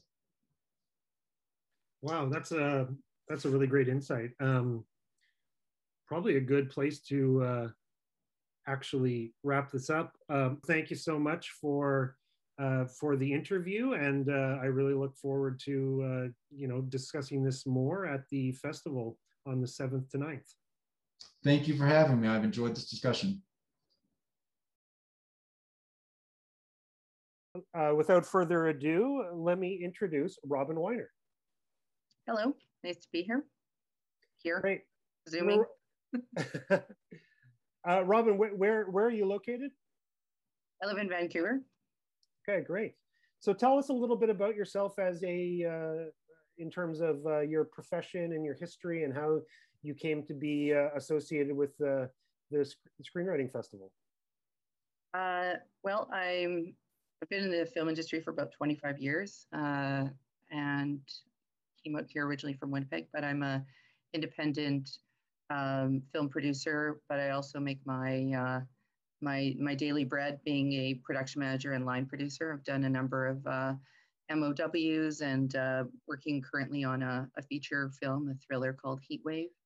And yeah, so I've been in the industry for quite a long time. I was a member of Women in Film. I sat on the board for about four years. I was president for a couple. I also used to teach part time at the Vancouver Film School doing budgeting and scheduling. And, you know, I've sat on a number of, uh, of juries and uh, including like short films as well as uh, the Leo Awards, although this year I had to uh, respectfully decline just due to a, a very, very busy work schedule. So, but yeah, that's kind of my, my background in a nutshell. Great. So um, let's just talk a little bit about your experience being on the jury for, for our festival. Um, uh, in terms of uh, the types, the elements that you were looking for when you were adjudicating these scripts, um, was there any that you focused on in particular coming from the specific uh, professional background that you have? Well, I think I think shorts are particularly hard to write. You know, I think people think features are hard, but I think actually shorts are um, they're an art unto themselves because they are exactly that. They're short, um, and you don't have a lot of you don't have a lot of room to tell a story. So where a feature you have, you know, 100, 120 pages, 90 minutes, 60 minutes, if it's a short feature, you have so little time with a with a short film and a short story to be able to tell a really good beginning, middle, and end, and really make all of those elements very tight. I, th- I think that's really hard to do. And so that I find particularly interesting that people can take whatever shell of an idea they have and turn it into a story that's watchable, readable within anywhere from sort of five to you know 20 minutes in length you know it's they're typically the you know the short film time. So i think that's a very hard thing to do. Okay great. And so yes so i was reading when i was reading them i was looking for you know what was grabbing my attention uh, and you know i'm kind of interested i'm interested people always say what do you like to read and i just like to read good stories so uh, I don't always like horror, but if it's a well told horror, then I'll read horror. If it's an interesting art house piece, uh, so I try not to be limited by genre, but really story. So as I was reading them, you know, you're kind of as you're getting to halfway through the script, you're sort of wondering if it's hitting the beats of where that story might conceivably go when you're hitting page 10 of 15 and how how a writer is going to wrap that up. And also i mean basic things like looking for the structure of the script uh, and and spelling right? People don't really think that it matters but it actually kind of pulls you out when something is ill spelled or you know is improperly spelled you, it just kind of pulls you out for a moment and uh, so yeah those are kind of the basics in character you know how engrossed I am in the character, and I'm a very visual person. So as I'm reading the scripts, you know where my mind is going and how I'm conceiving of the script. So I might have a different perspective than somebody else reading them. You know, because I'm kind of looking at them a little bit more from a how would I produce this? How would this look? You know, type of thing. Having been on uh, several juries now, um, would, would, there be any uh, sort of final piece of advice you would give uh, screenwriters uh, who are thinking about submitting to either our competition or other festivals in the future? Um, I would say just do it. you know, you have nothing to lose. There absolutely nothing. And I would probably say if anyone has a story that they're interested in, again, I still say write what you know or write what what is interesting to you. Um, if you are writing about what you don't know, then I would say do a lot of research on that. Um, so you're not writing your version of what you think somebody living with cancer might be going through. If you've experienced that, there's so much to be said about having a personal connection to story. And I think those are usually the best lenses. So if you don't know what it is, then uh, research or trying to talk to experts about what that might be. Uh, and then I would say if you have, if you finished your script, give it to people who are not your friends and your family and have completely nonpartisan input. It will be hard to hear, but I think it was, um, I want to say it was Kat, um, there was a writer I saw a number of years ago at VIFF, and she spoke about her script. And she said the first time she sent it off to random readers in Hollywood, she cried for like three days. Mm. And but it made her script better because she wasn't getting a glossed over opinion from people who, and not to discount people's parents or best friends or, or boyfriends or husbands or whatever you're going to have people read they're always no one's going to tell you the harsh reality of what what your story is about. And also you're getting a perspective from people who may not be as um, as versed to be able to give you in, input uh, on on what that is. So i would say send it to people who do not know you and have them respond and listen to that feedback. And and and get that from completely random people but i don't mean random like someone off the street. I mean send it to a couple professional writers especially with a with a feature um, and have a story editor read it and really take those comments to heart. It's hard because so much of what people's writing is is their own heart and soul and they've put you know any anything from months to years into developing something. But i think not listening to that feedback is dangerous. I read a script i think it was last year um, it was terrible. And it was a pretty much a copy story from something else. It was also a white guy writing about a black person's uh, journey based on a true story. And it was the wrong person to write that story. And his only pull in wanting to do this is that he had met somebody on a cruise ship and and and thought, wow, this would be great and it would be commercial. And I think those are all the wrong reasons to to really write something. Not that you can't write commercial script, but if you're writing it because you think you're going to make a lot of money, you're writing it for the wrong reason. So, uh, you know, as and I think if you are going to write things that are somewhat controversial in nature,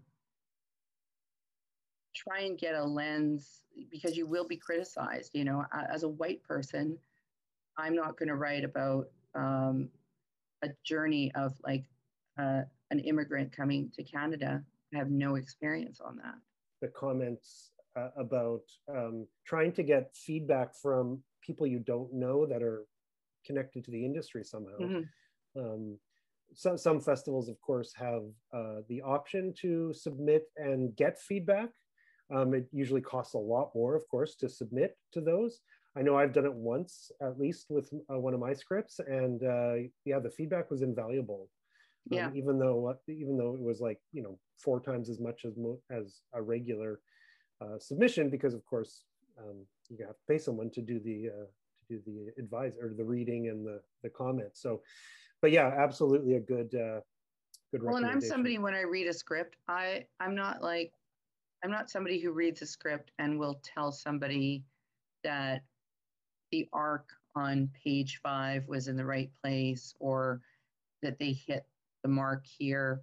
I don't have, that's not my skill set, but I will read it from a story perspective. So whenever I, I give comments on scripts, and I'm usually, I think my comments are usually pretty good. People seem to like the feedback I give at least, but my, my comments are really more about character, story, um, and a general feeling of where I felt things went in the script, how it moved me, and less about the technical elements. But when you get story editors who read that, that feedback is super invaluable. So I'd almost have like kind of two people, not that a story editor can't give you all those other points, but you're going to get somebody like a producer like me who will read it from a story perspective and characters and theme and tone.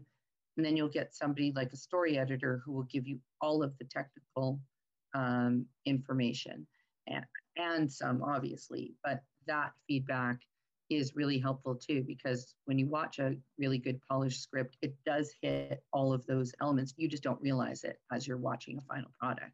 But that is, you know, sometimes you watch um, a, you watch a story and you think, well, that ending came up really abruptly and it's probably just not that balanced when that happens or was that the intention for that to happen right? So yeah. Great. Well i i don't really have any other questions. Is there anything else you'd like to add before we end the interview? Um yeah i can say i uh, i wanted to thank uh, stephanie and dan for putting this festival on.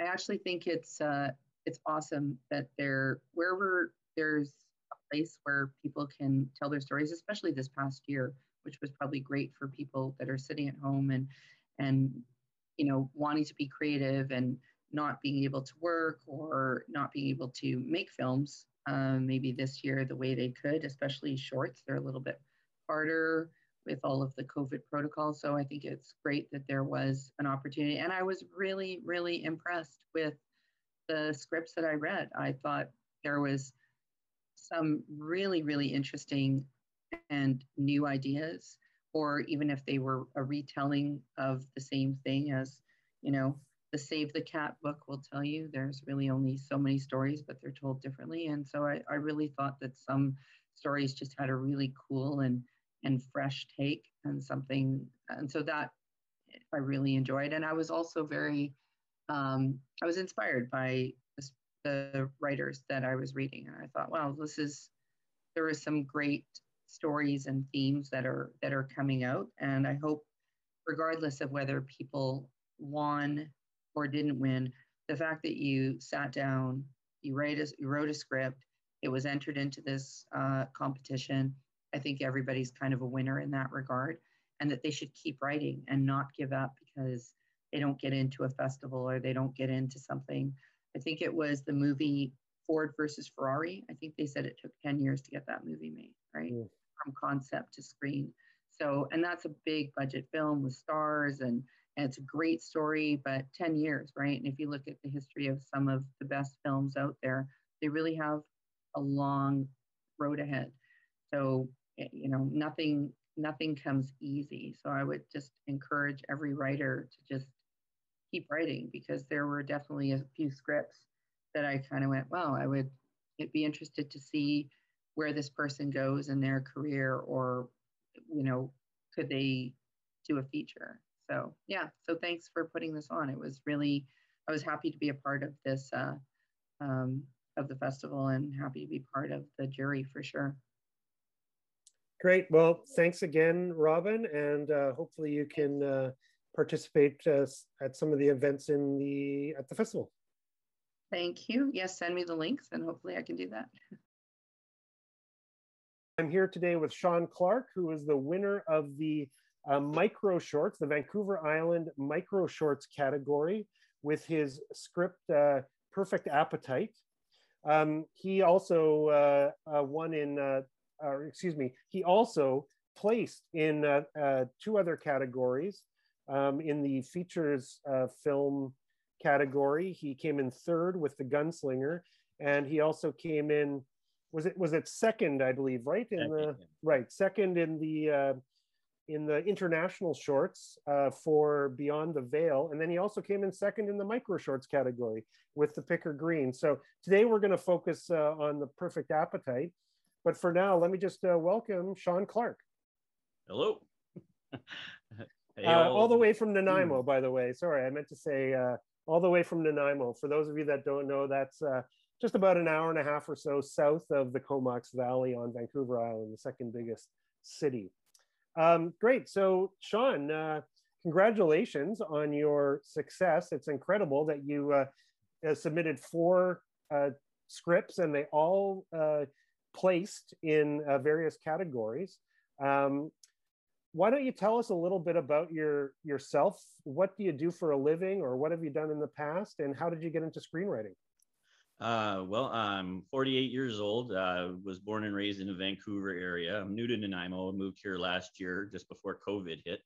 Uh, and uh, as far as a living goes, I, I, I currently work as a uh, as an actor, but uh, a little bit out of work due to uh, COVID as well. Uh, a, and so whenever people ask me what I do for a living, I said I'm a screenwriter and a and an actor, and I'm more interested in being a screenwriter than an actor these days. I fell into screenwriting by accident. Uh, it was about three years ago. I was uh, asked to like partake in uh, making our own material for a bunch of actors that weren't getting any work. We had a film crew and we needed a script, and nobody was stepping up to write the script. So I knew I was good with words. I'd never tried writing a script before. So I wrote my very first one. It was actually three years ago, like almost to the uh, this month, three years ago in April, that I wrote that script. It's called The Fart, and uh, it's about four guys playing poker and uh, tossing around hot topics from the internet, like uh, you know world peace and whatnot. And uh, it's uh, it turned out really good. Everybody was complimenting me and saying, "Man, you should try writing other scripts." And uh, I'd been sitting on a, uh, an idea of mine of my first screenplay, full, first full feature that I wrote.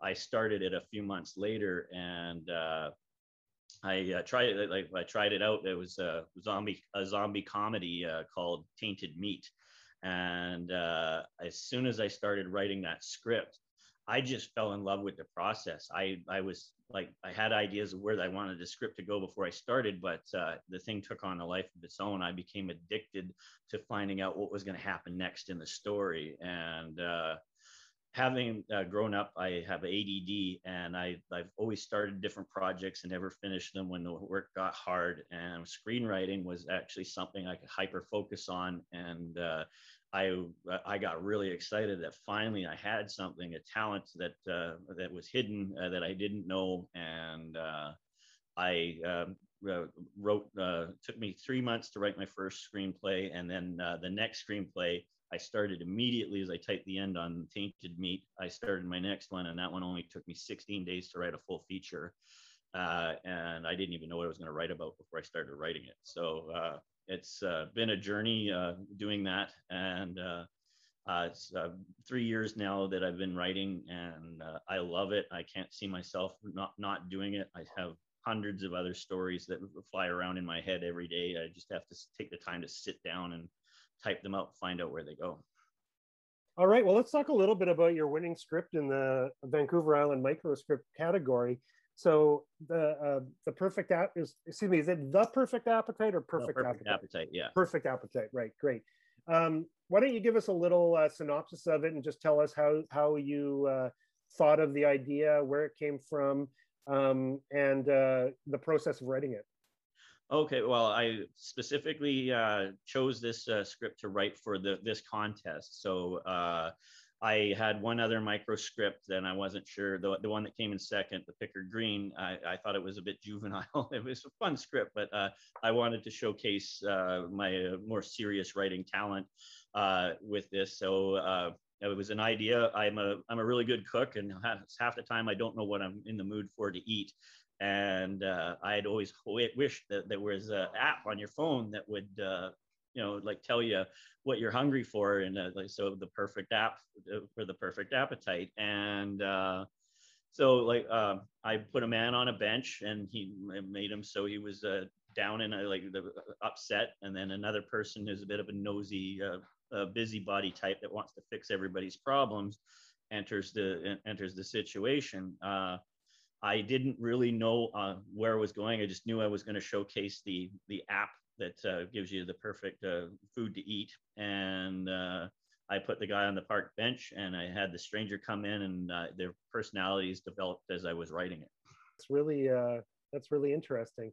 Um, it seems like across all your scripts, um, you you you you you have really interesting. Um, maybe almost i don't know if they'd be anti-heroes but you have kind of characters that are a little bit quirky a little bit rough around the edges is there any is there something that attracts you to those sorts of characters um, something uh, something that compels you to write them like that? Uh, is it is it related maybe to some kind of uh, you know TV shows or movies that you tend to like more than others? Uh, yeah, I, I I do like anti-heroes. Uh, like uh, like my favorite Marvel character is Deadpool. I love twisted endings, like where like uh, you're going in one direction and then you have the wool pulled out from under you, uh, kind of thing. Um, I I believe all my scripts have that wool being pulled out a little bit. Like, well, the gunslinger, not so much. That's more of a traditional good guy, bad guy uh, uh, type of uh, uh type of screenplay. So, uh, but uh, I had never thought about what you're what you're saying that these characters have similar. I've never really thought about it.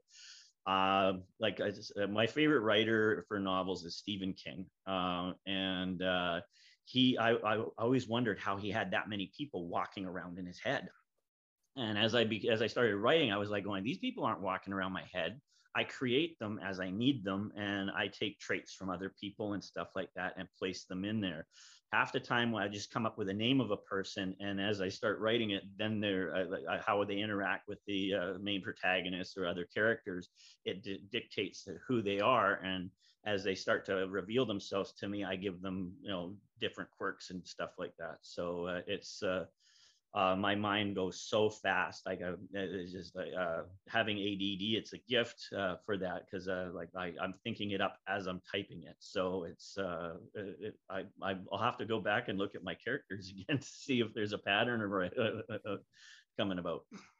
Did you did you at any time along the way? I know you say that you write very quickly uh, did you run into any challenges when it came to writing that particular script? Um, no, actually, that one there, okay, was only I think it's only what four or five pages long. Uh, I that, that that screenplay, I had the idea, like the, the I knew I was going to write about the the perfect appetite, the app. I didn't know which characters and how they were going to turn out. I believe I wrote that in probably 15 to 25 minutes like and uh, of course i mean that's just the initial beginning start beginning end and uh, and then i i as through the editing process i i add personality quirks and stuff like that change a line here or there uh, but uh, i believe the whole process for that uh, from the like the idea to finished edited product was probably about two hours so uh, I didn't I didn't hit any bumps in the road. I didn't know like, it just I just went with the flow. Yeah, I uh, and I I do respond well to writing challenges. So like somebody say uh, there is a uh, uh, there's an evil book on the uh, on the coffee table. And then I, I will come up with a story around an evil book on the coffee table and just figure it out from there and uh, invent characters and uh, have fun have fun with it you know? If i what that's one thing about my writing that i love is that if i never find any success or professional success with getting paid as a writer i'm being paid as a uh, as a human because it brings me such joy to cre- to create and uh, express myself in a creative way. Okay well thanks a lot for uh, your time today Shawn and uh, i really look forward to discussing your script writing in at the festival this this coming weekend. So um, thanks again, and we'll see you soon. All right, excellent. Looking forward to it. Hi, I'm Stephanie Rosell, and I am co-organizer of the Comox Valley International Screenwriting Festival. And I'm here with one of our jury members, Leah Flagg. Leah was on the shorts jury. Welcome, Leah. Thank you. Happy to be here. Why don't you just tell us a little bit about yourself? Oh, I hate talking about myself. um, let's see. What what can I tell you about me? Uh, my day job, of course, is in the film industry. And when I'm not at work, I am developing um, local filmmakers, uh, crew, cast, and writers. That's great. And right now you're working uh, on production in production. Is that correct? Uh, actually, I'm just wrapping up a show called American Dreamer. So, uh, feature film. I'm hoping to have a few weeks off to enjoy some summer with the family. Maybe not get as sunburned as I did yesterday. um, but yeah, and then we'll see what's coming our way to the island. Um, so, what is your relationship to screenwriting? Oh, goodness. Uh, I come from more of a publishing background, um, starting way back in my past life. Um, and I've sort of migrated through music festivals, publishing, hospitality, special events, theater, and now film and TV. Um, one of my favorite things to do is work with creative writers. So in publishing, I did a bit of that. Um, and that's really transferred over well to the work that I do um, in the independent film, filmmaking community. So um, working with new writers from UVic and and actually writers, you know, my own age that have started and decided it's not too late to live the dream. So, it's never too late to live the dream. Never too late. have you written any of your own screenplays? Uh, yeah, I did a short film um, just because I wanted to do a project from top to bottom um, and see what it's really like to do all those different pieces so I can work uh, really well with, with people in my day job that do those things. It gives me a better understanding of what they do and the responsibilities they carry, um, you know, as far as uh, working together as a collaborative team and as a storyteller. So, yeah. Do um, do you expect like a screenwriter on set with you like on the show that you just wrapped are no no. I mean we did very often what i found um, in the projects that i've worked on is that screenwriters are very often producers as well. Mm-hmm. so that was the case on this show was our the one that wrote the excuse me the one that wrote the screenplay was also one of our producers. So um, he would zoom in um, do like we would do a digital stream so he could see some of what was happening during the day and uh, you know consult on dialogue and that kind of thing. So yeah so that was a really interesting experience so what are the most important components of a screenplay for you? Oh um i really love character driven screenplays. Uh, i love to see deeply psychologically developed characters. That's i write that way um, because it's also what I really love as a reader is to really get into that mind and that experience of, of the people in the story. Um, and to me, that's a lot about what story is about is, is how we evolve and change from our experiences um, and how we interact with other people in our, our communities as we evolve. Mm. When you were reading the submissions, what mm. elements did you focus on? What were you looking for? Um, because it's a short, I didn't focus as much as I typically do on how much momentum was in the story to carry me forward because that's something that seems to happen quite naturally with shorts. They really need to go um, kind of hard and fast. so it was really, um, if I could really engage with the character emotionally, if, if I really found their perspective interesting, not necessarily that I hadn't seen or experienced the story before, but they just had a unique voice. And so that's what would really draw me into the character and, and uh, intrigued me and, and kept me reading. Great. And uh, what advice would you give any up and coming or emerging screenwriter? Um, I would say, from a writer's perspective, don't worry about perfect technique just get the story out there um, just spill it out onto the page and then you can polish it up from there. And then it's more natural. It doesn't feel contrived and if you need to give it more momentum or scale back a little bit um, then you can do that afterwards. And what about as uh, a jury member? Someone who's uh, who's judging the, the work um, I would say that that is when format, you really need to focus on format because one of the things I struggle with uh, because I write and because I've gone through, I used to tutor writers and things like that. I will get pulled out of the story if there are too many errors in formatting or grammar, unless it's meant to be grammatically incorrect. You know, if they're, um, for whatever reason, if the characters maybe English is their second language or something, then yes. But typically speaking, if it's grammatically incorrect or it's spelled incorrectly or I'm jumping from dialogue to a scene description and there's not really any heading changes it's very confusing and hard to follow the story and, and then you lose me and it's it's hard work to get me back in mm-hmm. i mean and it's hard to visualize isn't it it's yeah, hard to visualize absolutely. the story if it's jumpy like that it's jumpy in your mind as well if you're trying to to yeah. see what the what it's all about yeah um, absolutely. I don't have any other questions for you unless there's anything you'd like to say, anything uh, that you want to say to any of the um, the winners or or Um, I would like to say that uh, as a writer, congrats, because it takes a lot of courage to put your babies out there in the world and, and get feedback on it. It's not always an easy thing to do. So um, yeah, kudos to the writers. Excellent for taking the risk. Thank you. Thank you. I hope that you can partake in our festival. I know that you're Mhm. awfully busy, but if you can, May 7th to 9th, we'd love to have you there. right. I'm sure I will pop in. Thank you. Thank you for being on our jury. We really appreciated it. My pleasure.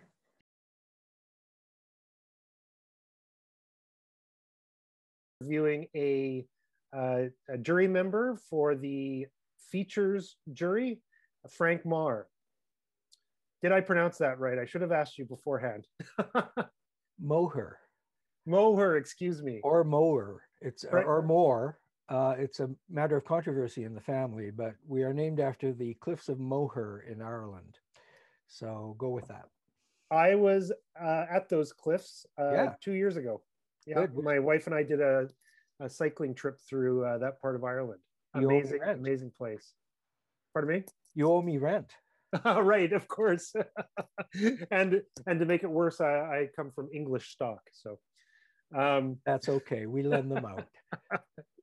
great. So, uh, Frank, why don't you uh, tell us a little bit about yourself, your relationship to screenwriting, to um, uh, any creative uh, endeavors you take part in, um, and uh, your relationship to the festival so far. Right. So I've worked as a writer since I was about oh, 20 years old. Um, and uh, back in the day, uh, I uh, I began in theater. Um, eventually, I also wrote screenplays. I wrote screenplays for you know, about 10, 15 years professionally. Worked in TV too. Uh, and then eventually, um, I came to work in theater and journalism. So probably for the last 25 years, I've worked primarily in theater and journalism while also teaching both subjects at Vancouver Island University. Great. And so, for those that don't know, Vancouver Island University is a university in Nanaimo, which is the second biggest city on Vancouver Island, I believe. Right. So VIU has campuses, the main ones on in Nanaimo, yes, but there's also ones in Duncan and uh, Parksville up uh, toward Courtenay. Uh, but yes, uh, university with about, I guess, about 18,000 students, I think, at this point. Great. Okay. So, um, uh, and how did you get involved in the in the festival? Well, Stephanie, your colleague, was a student of mine uh, not too long back uh, at VIU in the script writing program. So I teach in creative writing and journalism uh, at VIU. I do for about, oh, uh, two and a half months more, and then I'm uh, taken off after 30 years. But I've taught uh, script writing and journalism in that department for since about 1991. Uh, and Stephanie uh, was one of my students. And so when you guys started to organize this festival, she asked me if I would come on as a judge. And I said, Stephanie, you know, I haven't written screenplays for quite a while now. Um, but she uh, said, well, you know, story is story. So I took her word for that. Absolutely, absolutely. Do you so? Do you have any um, notice, noticeable success stories uh, when it comes to uh, students producing uh, screenplays? Well, we've had lots of students go on to, now I don't know necessarily if they've had their screenplays written uh, or produced rather. They've, they've certainly written lots. What I encourage them to do is to make them themselves.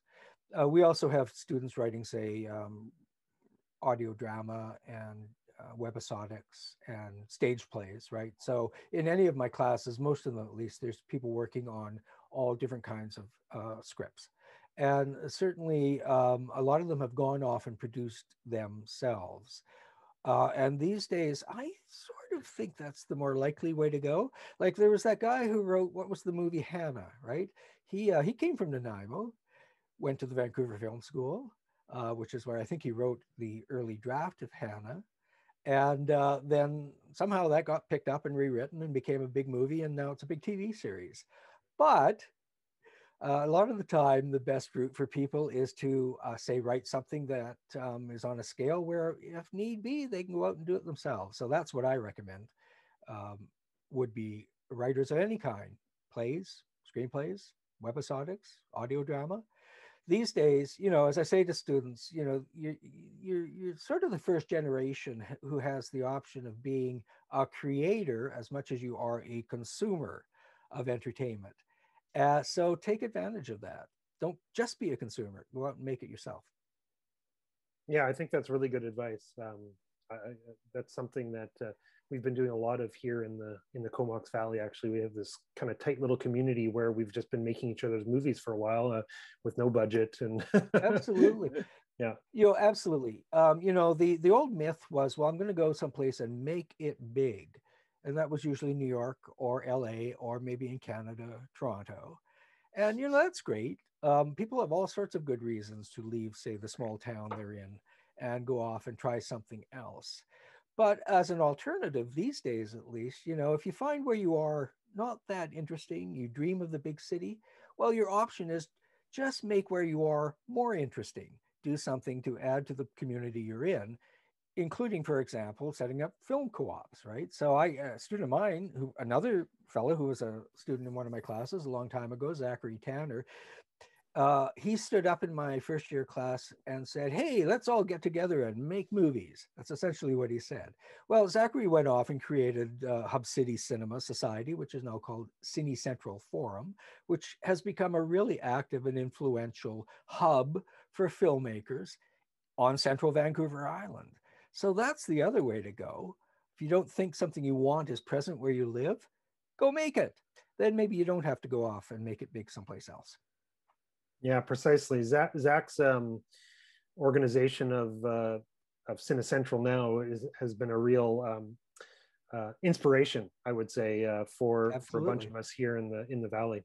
Yeah, great. Um, so uh, when when you uh, when you think about uh, screenplays, uh, what do you think are the most important elements for you? When uh, you, I mean, ultimately, I want to ask when you're adjudicating them, but maybe you can speak in the abstract a little bit about the most important uh, components of a screenplay? So I think it's telling the story visually to the greatest extent possible through image and action. I remember being in my 20s and coming out of theater and uh, just getting into writing film and TV, and somebody saying to me, Well, you know, you have to tell the story through uh, action and images, right? And I went, No, you don't. I'll just have great dialogue uh, but I've learned better. so I think that's it. Um, leading with action and image, dialogue kind of bringing up the rear. Now, this is screenwriting, say TV and webisodics. They're in many ways quite close to theater. They are sort of meeting of theater and screen into a new thing, where which is often dialogue driven, right? Um, but screen in particular, I think, is visually driven. And then um, characters, of course. Uh, I, I think usually a clear central character helps, makes your life easier as a writer at any rate. Obviously, there's multi-protagonist films and whatnot, but unless you're consciously trying to write one of those, um, a, a, good, strong central character helps. And then structure. Uh, I, I believe structure is your friend also. You don't necessarily have to uh, go with any particular structure. You don't have to do the Sid Field three act structure. You don't have to do the Saving the Cat seven act structure. But some structure, um, I think, again, will make your life easier and probably result in a more enjoyable experience for the audience, which at the very least has been uh, trained, we have been trained to expect a beginning, middle, and end. And often that's all structure is. Great. Um, when you uh, were reading the uh, the screenplays for on the jury, was there anything you would uh, identify as a recurring problem, or would you have any suggestions for future submitters when it comes to things that they should really pay attention to if they want their screenplays to be successful in a competition specifically? Yeah, so I was impressed by the fact that actually most of the people had the sort of basics down. You know, how to format a script, you know, what is a scene, um, things like that. How to do a slug line, uh, real basic stuff. But it's you know it's the kind of stuff I teach in first and second year classes at a university. So you have to learn it. And I think I think as festival coordinators, you did a bit of filtering that way. But by the time the scripts reached us, they were looking pretty good. But I, I certainly think you know it's, it's important to look um, all kinds of script writing are collaborative. You're uh, not just, you know, it's not poetry you're writing to put in a drawer.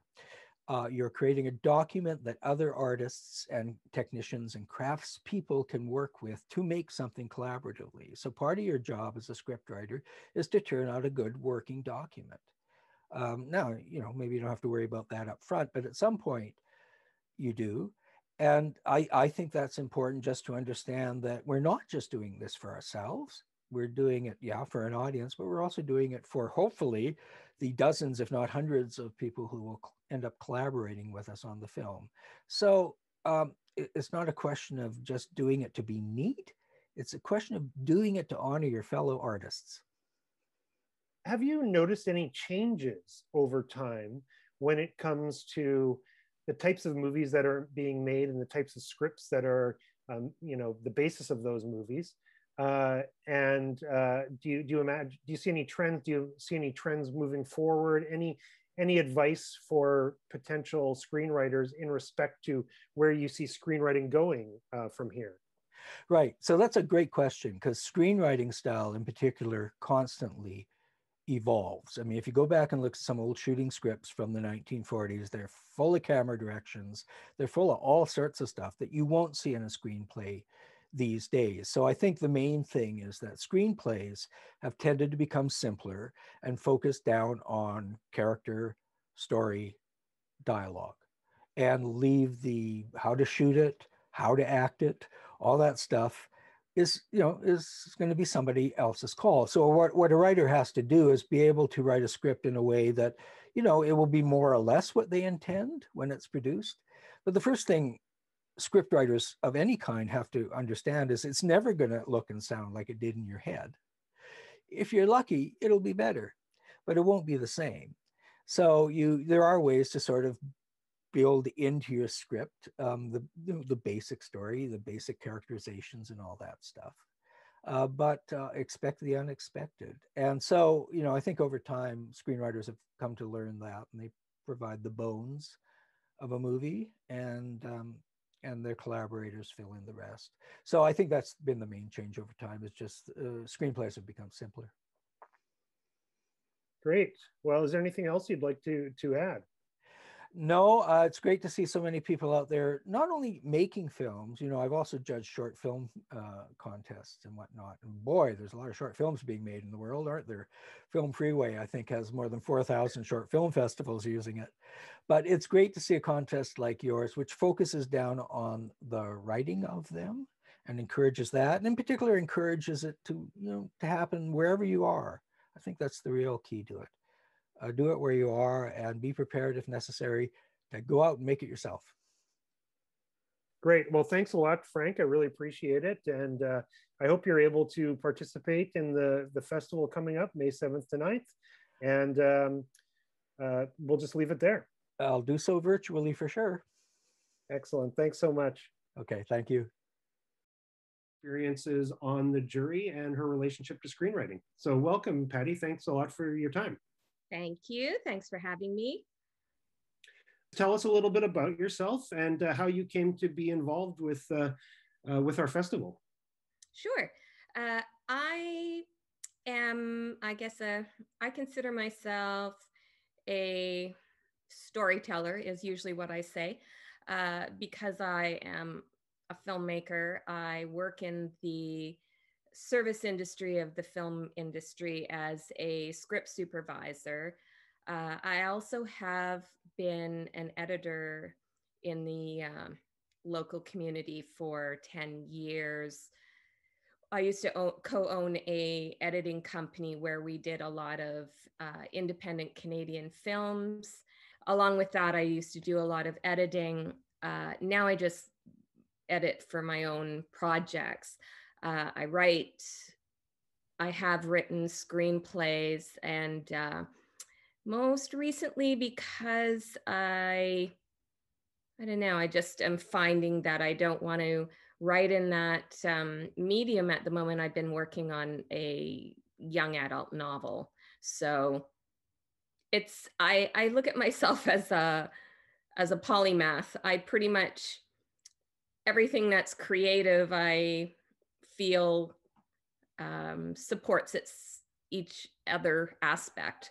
So it's not like I think the thing that is the most difficult is people try and pigeonhole you. And I've just never allowed that. Maybe it's um, it's inhibited my trajectory in some ways, but I think knowing all these things, being creative is uh, you get to do anything you want because they all they all support each other somehow. Um, and that's that's my story and i'm sticking to it. And good luck to anybody else who tries that. What, what's your novel about? My novel well great um, so let's talk a little bit about your experience on the jury um, uh, first tell, tell us how you actually got involved in uh, the festival um, and uh, then tell us a little bit about, uh, you know, just some observations you had as you were reading the the, the scripts. Um, did you uh, uh was there was there anything in particular that struck you as you read them in terms of the quality or the themes or the um, uh, you know the whole process of of, of bringing them in uh, did you uh, did you feel anything particular? Were you surprised by anything, et cetera, et cetera? Sure. Uh, I was brought on to the the jury, I guess, the into the this particular jury because I'm a script supervisor uh, and one of the creators is also of this um, competition is also a script supervisor.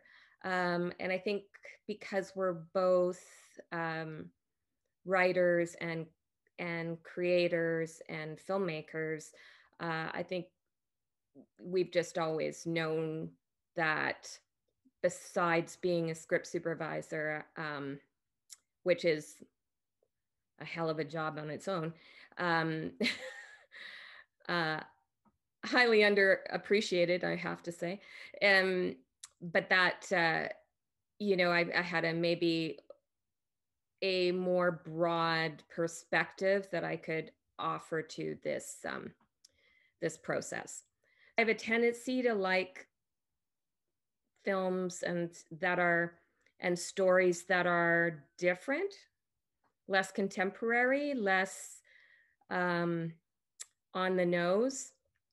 I like magic realism. So I actually find that I'm a good person to be on a jury because I offer a, a different perspective.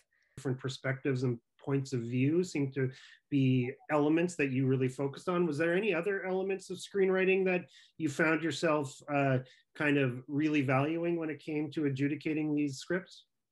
Yeah, um, I was looking at it, let's say if I was looking at it from a script supervisor's standpoint, in terms of not in terms of always continuity, but continuity of story. Um, I would look at, you know, are things tracking? Are we missing, you know, if you bring something up, is it is it paid off somewhere else?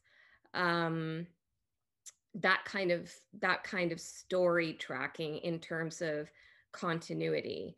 Uh, in terms of script writing, you know, I I know that a part of it was that it should be an industry standard how it's structured, and I think that's not a hard thing to do, um, especially since the internet will give you many opportunities to look up what that standard is.